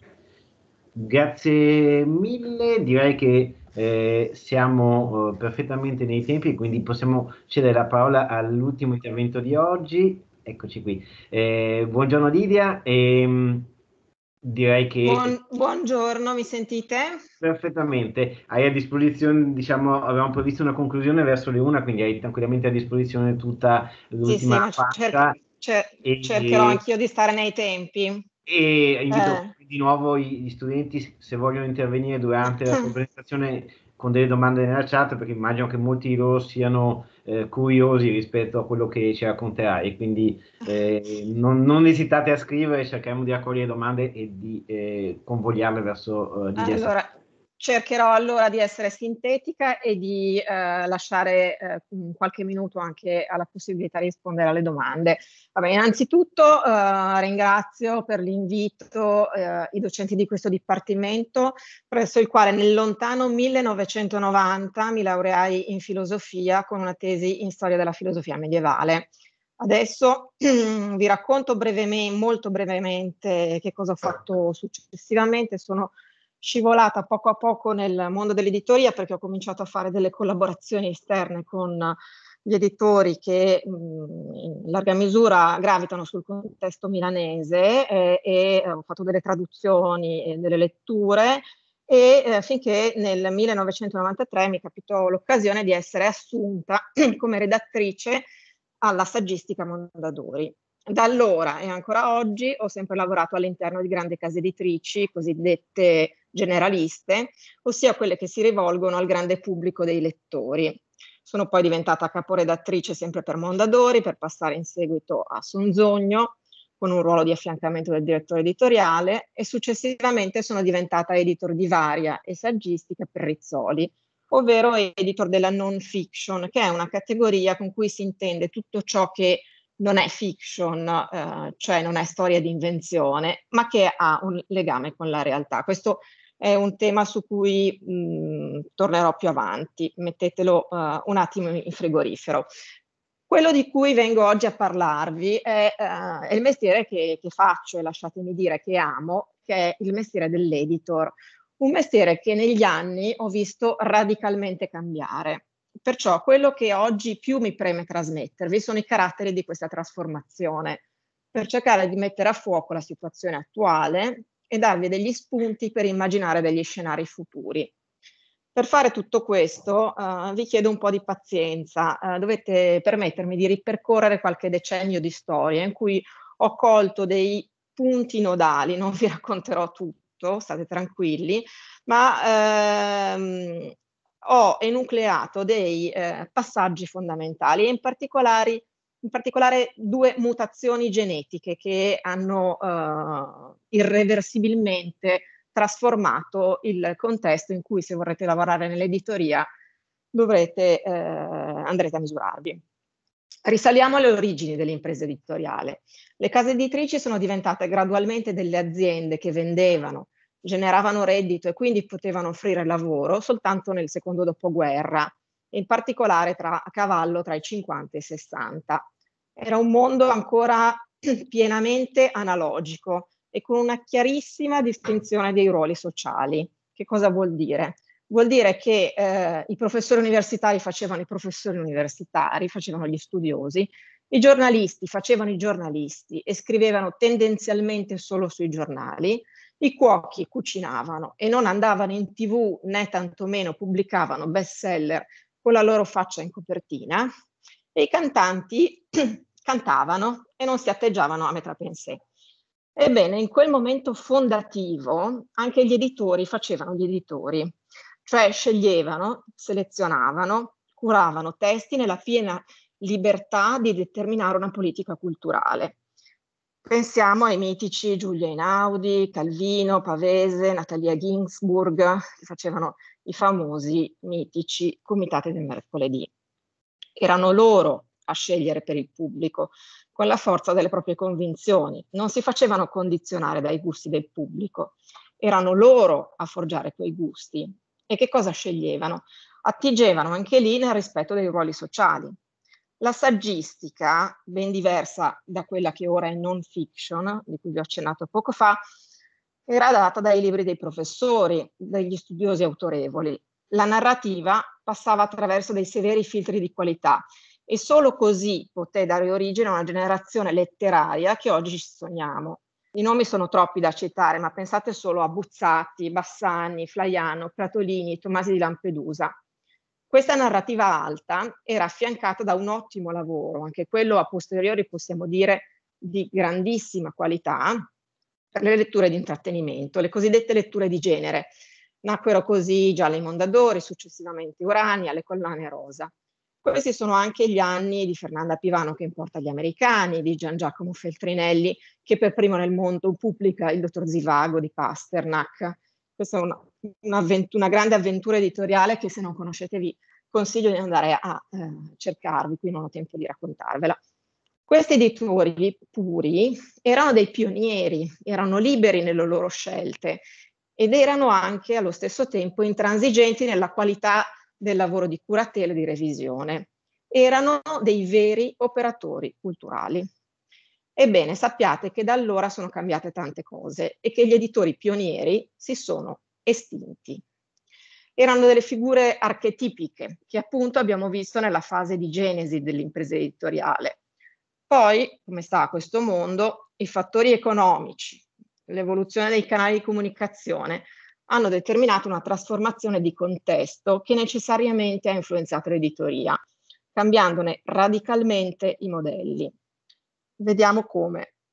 La prima fase di trasformazione irreversibile, di cambiamento di pelle dell'editore, avviene più o meno a partire da metà degli anni 90. Fino a poco prima di quell'epoca, cioè fino a poco prima del metà degli anni 90, editori come Mondadori, Rezzoli o Feltrinelli erano stati delle gran belle aziende che davano lavoro a tanti redattori, editor, addetti marketing, grafici e via dicendo. Facevano infatti un sacco di soldi grazie ai grandi bestseller, tanti, anche qui impossibile citarli tutti, ma pensate solo a Eco col nome della rosa, Kundera con l'insostenibile leggerezza dell'essere, o ai libri di Enzo Biagi, di Giorgio Bocca, e con questi bestseller riuscivano a portare a termine un altro compito fortemente culturale dell'editore. Tenevano aperto l'enorme cantiere di lavoro del catalogo. Pensate a quale importanza fondamentale abbiano avuto collane come gli Oscar Mondadori o la Burro. Questo era ancora un lavoro da operatori culturali ed era diventato industriale. E anche quella di fine millennio è un'epoca ancora analogica. Le redazioni sono strutturate, notando le correzioni sulla carta. Io ebbi la fortuna di cominciare allora. Nella redazione della saggistica di Mondadori imparai dall'ABC come si cura, confeziona, costruisce un libro. Me lo insegnò qualcuno che lo sapeva fare. Questo è un, pri- è un privilegio che voi non avrete se vorrete lavorare con i libri. Dovrete cercarvi qualcuno che vi insegni e non sarà facile trovarlo, perché oggi le redazioni sono state smantellate quel lavoro di fino viene appaltato agli studi editoriali, dove c'è molto meno controllo. Ma perché è successo questo? Perché gli editori, in un'epoca di progressiva accelerazione, hanno ritenuto più importante la velocità nella caccia all'autore, al talento, al bestseller straniero, che alla cura dell'edizione. Un lavoro che esige lentezza. Quindi, dovendo tagliare le spese, hanno deciso di conseguenza. Questo è stato un fenomeno graduale, ma torniamo alla metà degli anni 90, come l'epoca della prima mutazione genetica dell'editoria. Perché avviene questa mutazione genetica? Perché si alimenta, si fa esplodere la varia. La varia è quel genere in cui si inseriscono i libri di autori che nella vita non fanno gli scrittori, ma qualsiasi altra cosa. Il genere era stato in realtà inventato 10-15 anni prima da un editor geniale della Mondadori, eh, Paolo Caruso, che aveva scoperto fra i molti autori bestseller Luciano De Crescenzo. De Crescenzo, forse come riflesso della società che stava cambiando, era un autore che non rispondeva più a un unico ruolo sociale determinato. Cioè, se pensiamo a uno scrittore, non era né un romanziere né un saggista, era un ingegnere, amante della filosofia antica, affabulatore, voce della napoletanità però bisogna dire che era ancora un personaggio antico perché i suoi libri, scritti da lui e non da un ghostwriter, cosa che oggi è comunissima, venivano venduti anche perché il pubblico ne apprezzava i contenuti.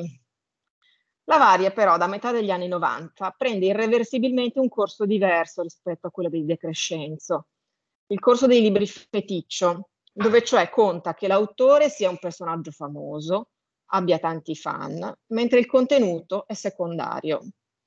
C'è stata per esempio a cavallo del, tra gli anni 90 e il primo decennio del 2000 l'epoca dei comici di Zelig. Erano libri fatti di nulla, bastava sbattere la foto di Aldo Giovanni Giacomo in copertina e si finiva in top 10. Ecco perché ho definito questo passaggio un cambiamento di pelle.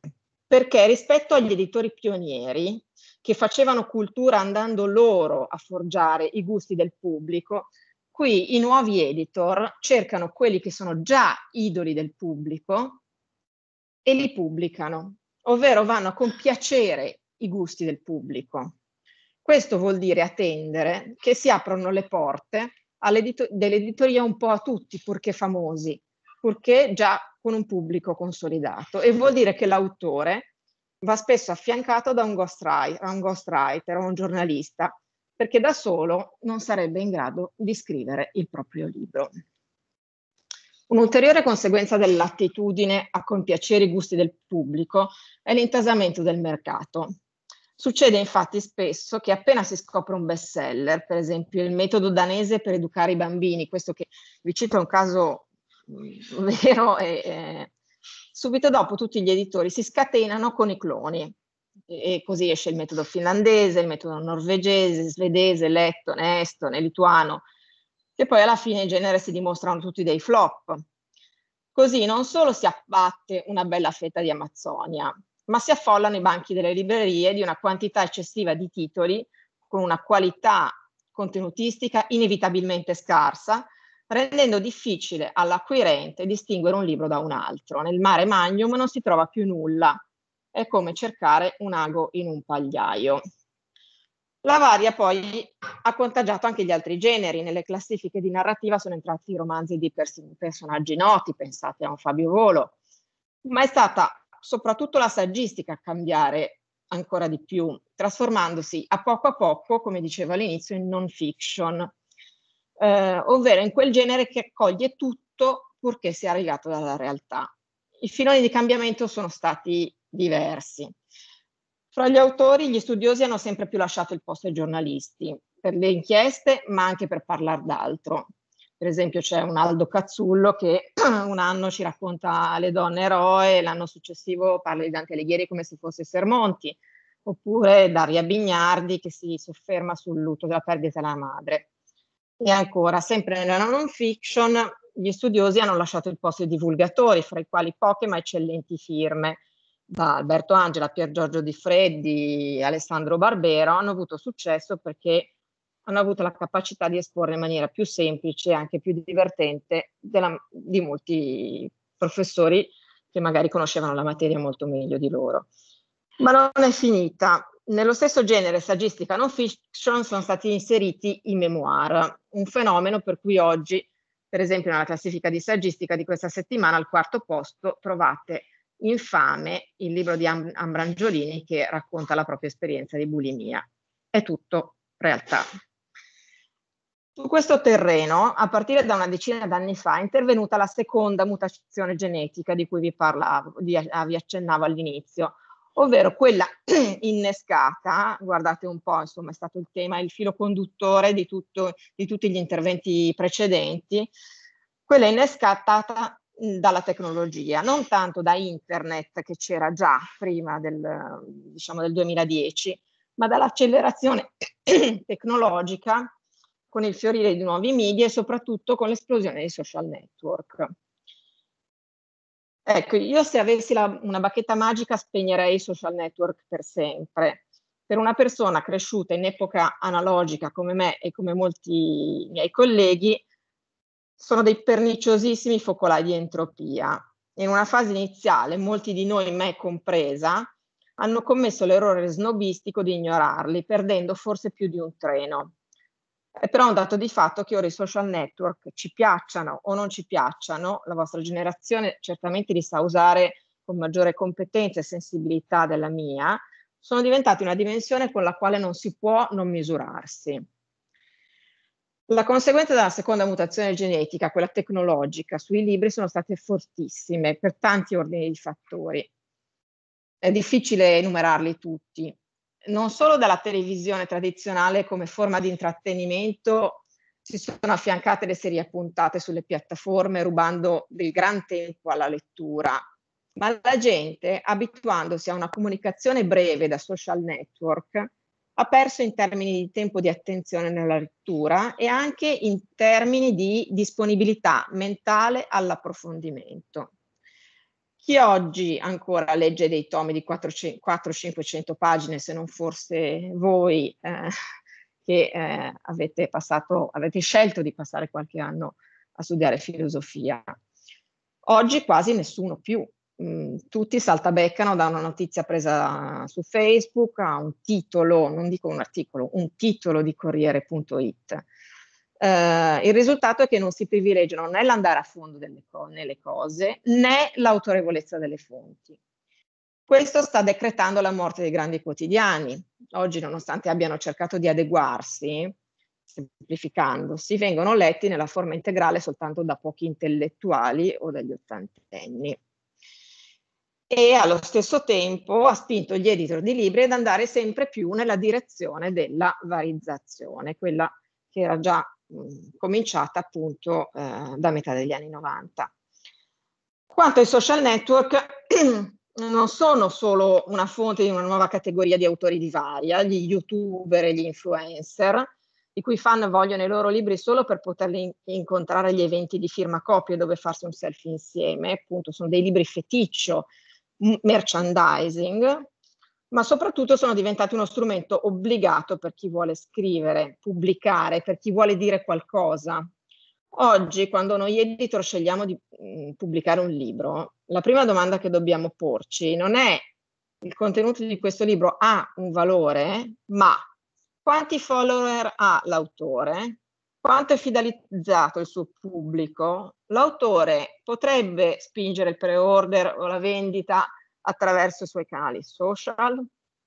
Quindi io potrei avere in mano qual- qualunque capolavoro, uh, non so, il discorso sul metodo di ma se René Descartes non avesse almeno 500.000 follower su Instagram, non potrei pubblicarlo, perché non ci sarebbe alcun modo di farlo emergere nel mare magnum di libri che ogni mese, per il fenomeno dell'intasamento che vi ho accennato prima, vengono riversati nelle librerie o da Amazon. Qui tra l'altro non, c'è il tempo di affrontare il tema della mutazione anche dei canali di vendita dei libri che sono passati da una graduale chiusura delle librerie tradizionali ai megastore e poi adesso ai bookstore online, eh, Amazon in primis. Ma sappiate che anche questo è un tema molto critico che eh, influenza il contesto in cui se vorrete appunto eh, lavorare nell'editoria dovrete andare a, a misurarvi. Vi starete quindi domandando fin perché vi abbia raccontato tutta questa evoluzione del mestiere di editor? Bene, perché eh, penso che mai come oggi la nostra società abbia bisogno di bravi editor e questo ruolo sia centrale. Credo che eh, vi sia ormai chiaro sia dal mio sia dagli interventi precedenti che l'editor del presente e del futuro non è più il topo classico topo da biblioteca non è più il San Girolamo nello studiolo che è stato accennato nel primo intervento, ma che debba avere delle competenze sulla modalità di trasmissione dei contenuti sui media vecchi e nuovi a 360 gradi. Cioè deve sapere come costruire il percorso di un autore o un progetto editoriale andando a cogliere, a stimolare l'interesse del pubblico sì con un libro, ma anche allo stesso tempo prevedendo da un lato le possibilità di promozione del libro stesso attraverso altri canali, ma anche possibili sfruttamenti secondari, paralleli degli stessi contenuti, cioè pensare a un libro, ma anche alla possibile serie su Netflix, alla versione audiolibro, oppure inventarsi dei link che rimandano a contenuti extra audio e video e qui via libera all'inventiva. Credo però che allo stesso tempo, per essere dei bravi editor contemporanei, si debba mantenere anche lo spirito antico dei pionieri ed è per quello che sono partita da lì. Si debba essere degli editor che nell'entropia di una comunicazione in mano a tutti, resa esplosiva dalla tecnologia, abbiano l'intelligenza e la voglia di fare delle scelte di qualità. Delle scelte politiche come quelle di Gian Giacomo Fentrinelli, che fece conoscere il dottor Zivago per sollevare di, dietro il racconto di una normale storia d'amore, eh, il tema delle contraddizioni dello stalinismo, editor, si debba essere editor capaci pur nella fretta della nostra era di rivedere e correggere con acribia i testi, cosa che, come vi dicevo, nell'attuale mondo liquido dovrete imparare un po' da soli, perché non ci sono più le redazioni strutturate, e eh, soprattutto mh, mm, dovrete, mh, mm, un bravo editor dev- dovrà essere intransigente sulla qualità della curatela, ma soprattutto sull'affidabilità delle fonti. Eh, anche, anche, qui, interventi, negli interventi precedenti, il tema della, della verità e del, della falsificazione sono stati eh, aperti e sono validissimi anche eh, in, in questo contesto. Solo uh, grazie a questo ruolo, in una società che ormai è sommersa dalle fake news, in un mondo travolto dalle derive populiste, potrete dare al lavoro dell'editor la valenza di operatore culturale che lo nobilita, aggiornata alle esigenze del XXI secolo. Concludo, mi piace concludere citandovi eh, richiamandomi appunto al tema dell'intransigenza e dell'acribia che eh, trovo mh, siano fondamentali nello sviluppo di questa professionalità. Eh, vorrei citare le parole di una collega mh, autorevole, una bravissima editrice, Elisabetta Sgarbi, che al funerale di Umberto Eco ha detto ti siamo grati maestro per tutte le volte che ci hai fatto notare la nostra superficialità. Qui eh, chiudo, um, ho voluto appunto farvi un racconto e spero di avervi dato degli spunti e sono a disposizione ovviamente per delle domande. Grazie Lidia, è stato non soltanto estremamente utile ma anche molto bello perché appunto eh, penso che molti dei ragazzi magari non hanno sentito mai, non soltanto nominare, non, nemmeno scrivere, ma nemmeno nominare alcune delle figure di cui hai parlato e molti di loro forse hanno un'immagine molto diversa di come si costruisce in generale un libro e di che cos'è eh, anche il mondo della cultura inteso come un mondo anche se ormai commercializzato ma per ragioni eh, indispensabili. Ecco. Eh, io dom- hai, hai, fatto un quadro molto bello e, e, anche molto spregiudicato, perché appunto non hai, non hai cercato di dire quello che, eh, che, succede di fatto dietro un'apparenza di, dire, di, di grande selezione dei, dei, prodotti o di volontà di produrre una qualche forma di, dimensione culturale. Ecco. Eh, ecco, la domanda molto spregiudicata che ti faccio anch'io è, allora, in queste figure che hai evocato, appunto, hai, hai sottolineato l'edito come una figura che ha delle, delle, potenzialità anche per gli studenti di filosofia. Ecco, quanti, quanti dei ghostwriter che, che, che, vedi agire sono ex studenti di filosofia? Ecco, perché quella diciamo, è la figura meno, meno nobile, ma appunto mh, percentualmente presente, eh, l'hai ricordato, ecco, gli studenti di filosofia, ecco, nel, nel tuo ambito, a, a quali funzioni si rivolgono più tipicamente? Allora, il, allora dal, punto, dal, punto, di vista del um, insomma, studente di filosofia, io mh, mm, ne vedo sicuramente nella professionalità di editor che più uh, uh, deve unire tante competenze diverse, quindi sia una sensibilità del mercato, sia uh, appunto una competenza sul eh, lavoro, ma mh, applicandola alla supervisione di eh, quello che è all'ideazione e poi alla supervisione delle diverse fasi di un progetto editoriale. Il ghostwriter è appunto diventato ormai una figura fondamentale eh, nell'editoria contemporanea perché eh, sì, quasi tutti gli editori vanno in qualche modo affiancati e ehm, quello è un lavoro che viene fatto dall'esterno come consulenza ehm, vengono pagati quindi a titolo eh, sotto forma di, di curatela.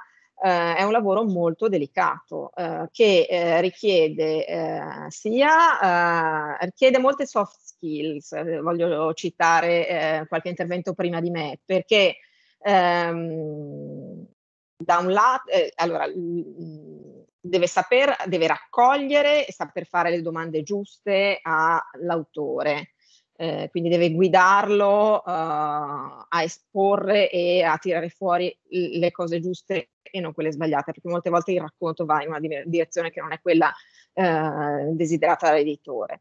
Um, deve sapersi relazionare con l'autore che eh, molte volte magari o è ostile o è, eh, insomma, ha un atteggiamento che va un po' gestito.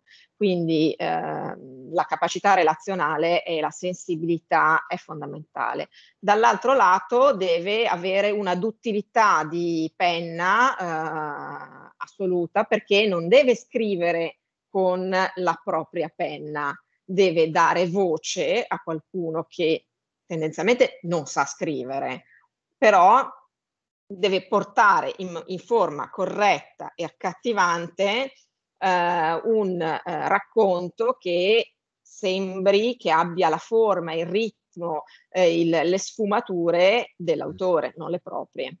Lo, lo chiedevo per, per, ragioni personali perché mi è capitato di avere colleghi, ex colleghi, mm. studenti di filosofia che avendo poi fatto una scuola di scrittura più o meno creativa si sono rivolti al settore editoria sia come autori sia come mm. post autori. Sì. E quindi sì.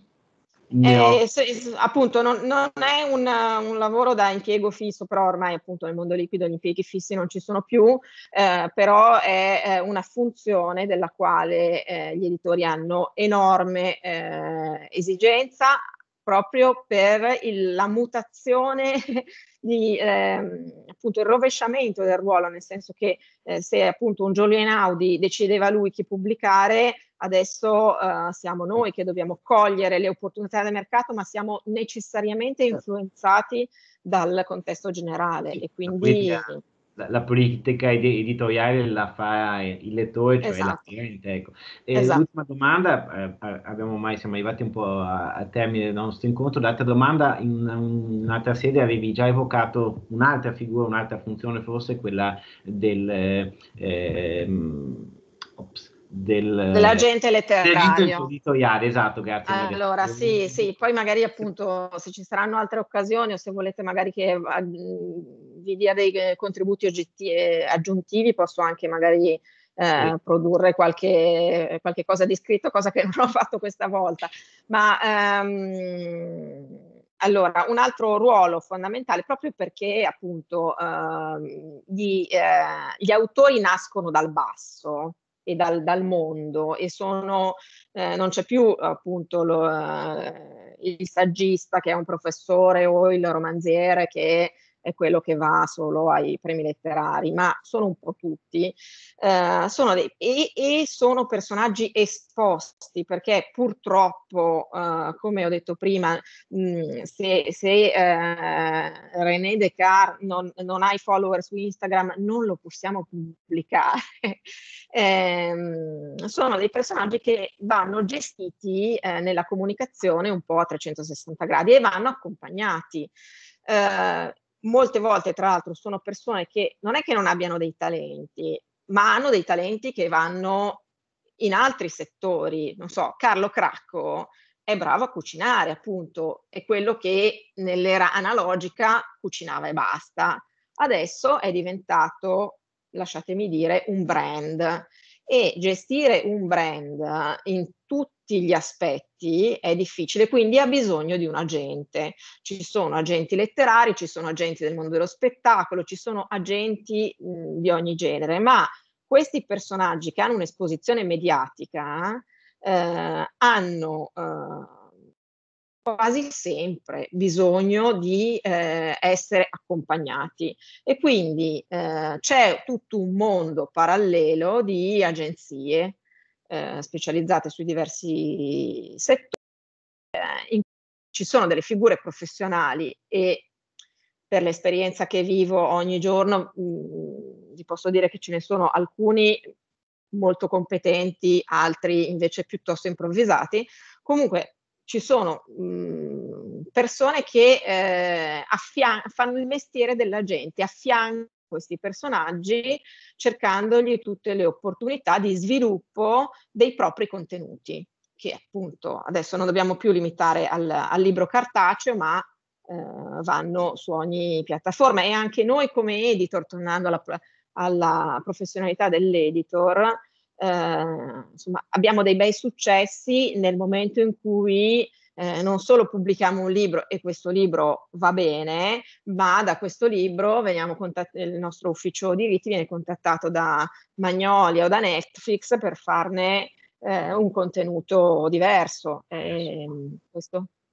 Perfetto, grazie mille e grazie. credo che ci possiamo eh, salutare con queste ultime parole. Avrei voluto appunto dire qualcosa anch'io sul mondo del, della carriera universitaria o di ricerca post laurea, magari lo faremo in un'altra, in un'altra sede, in uno dei prossimi incontri, perché speriamo di poter organizzare delle altre eh, giornate di questo tipo. Eh, ringrazio di nuovo innanzitutto le persone che sono intervenute e, e, e dandoci delle testimonianze eh, molto belle e molto varie, avete visto, eh, di ambiti professionali eh, che hanno degli elementi in comune, degli elementi in comune che spesso sono in sintonia con le competenze e le capacità dei nostri eh, studenti laureati, ma che hanno anche poi delle specifiche eh, molto variabili. E ringrazio anche in maniera veramente sentita tutti gli studenti che hanno partecipato, triennalisti e, e studenti della laurea magistrale. Ecco,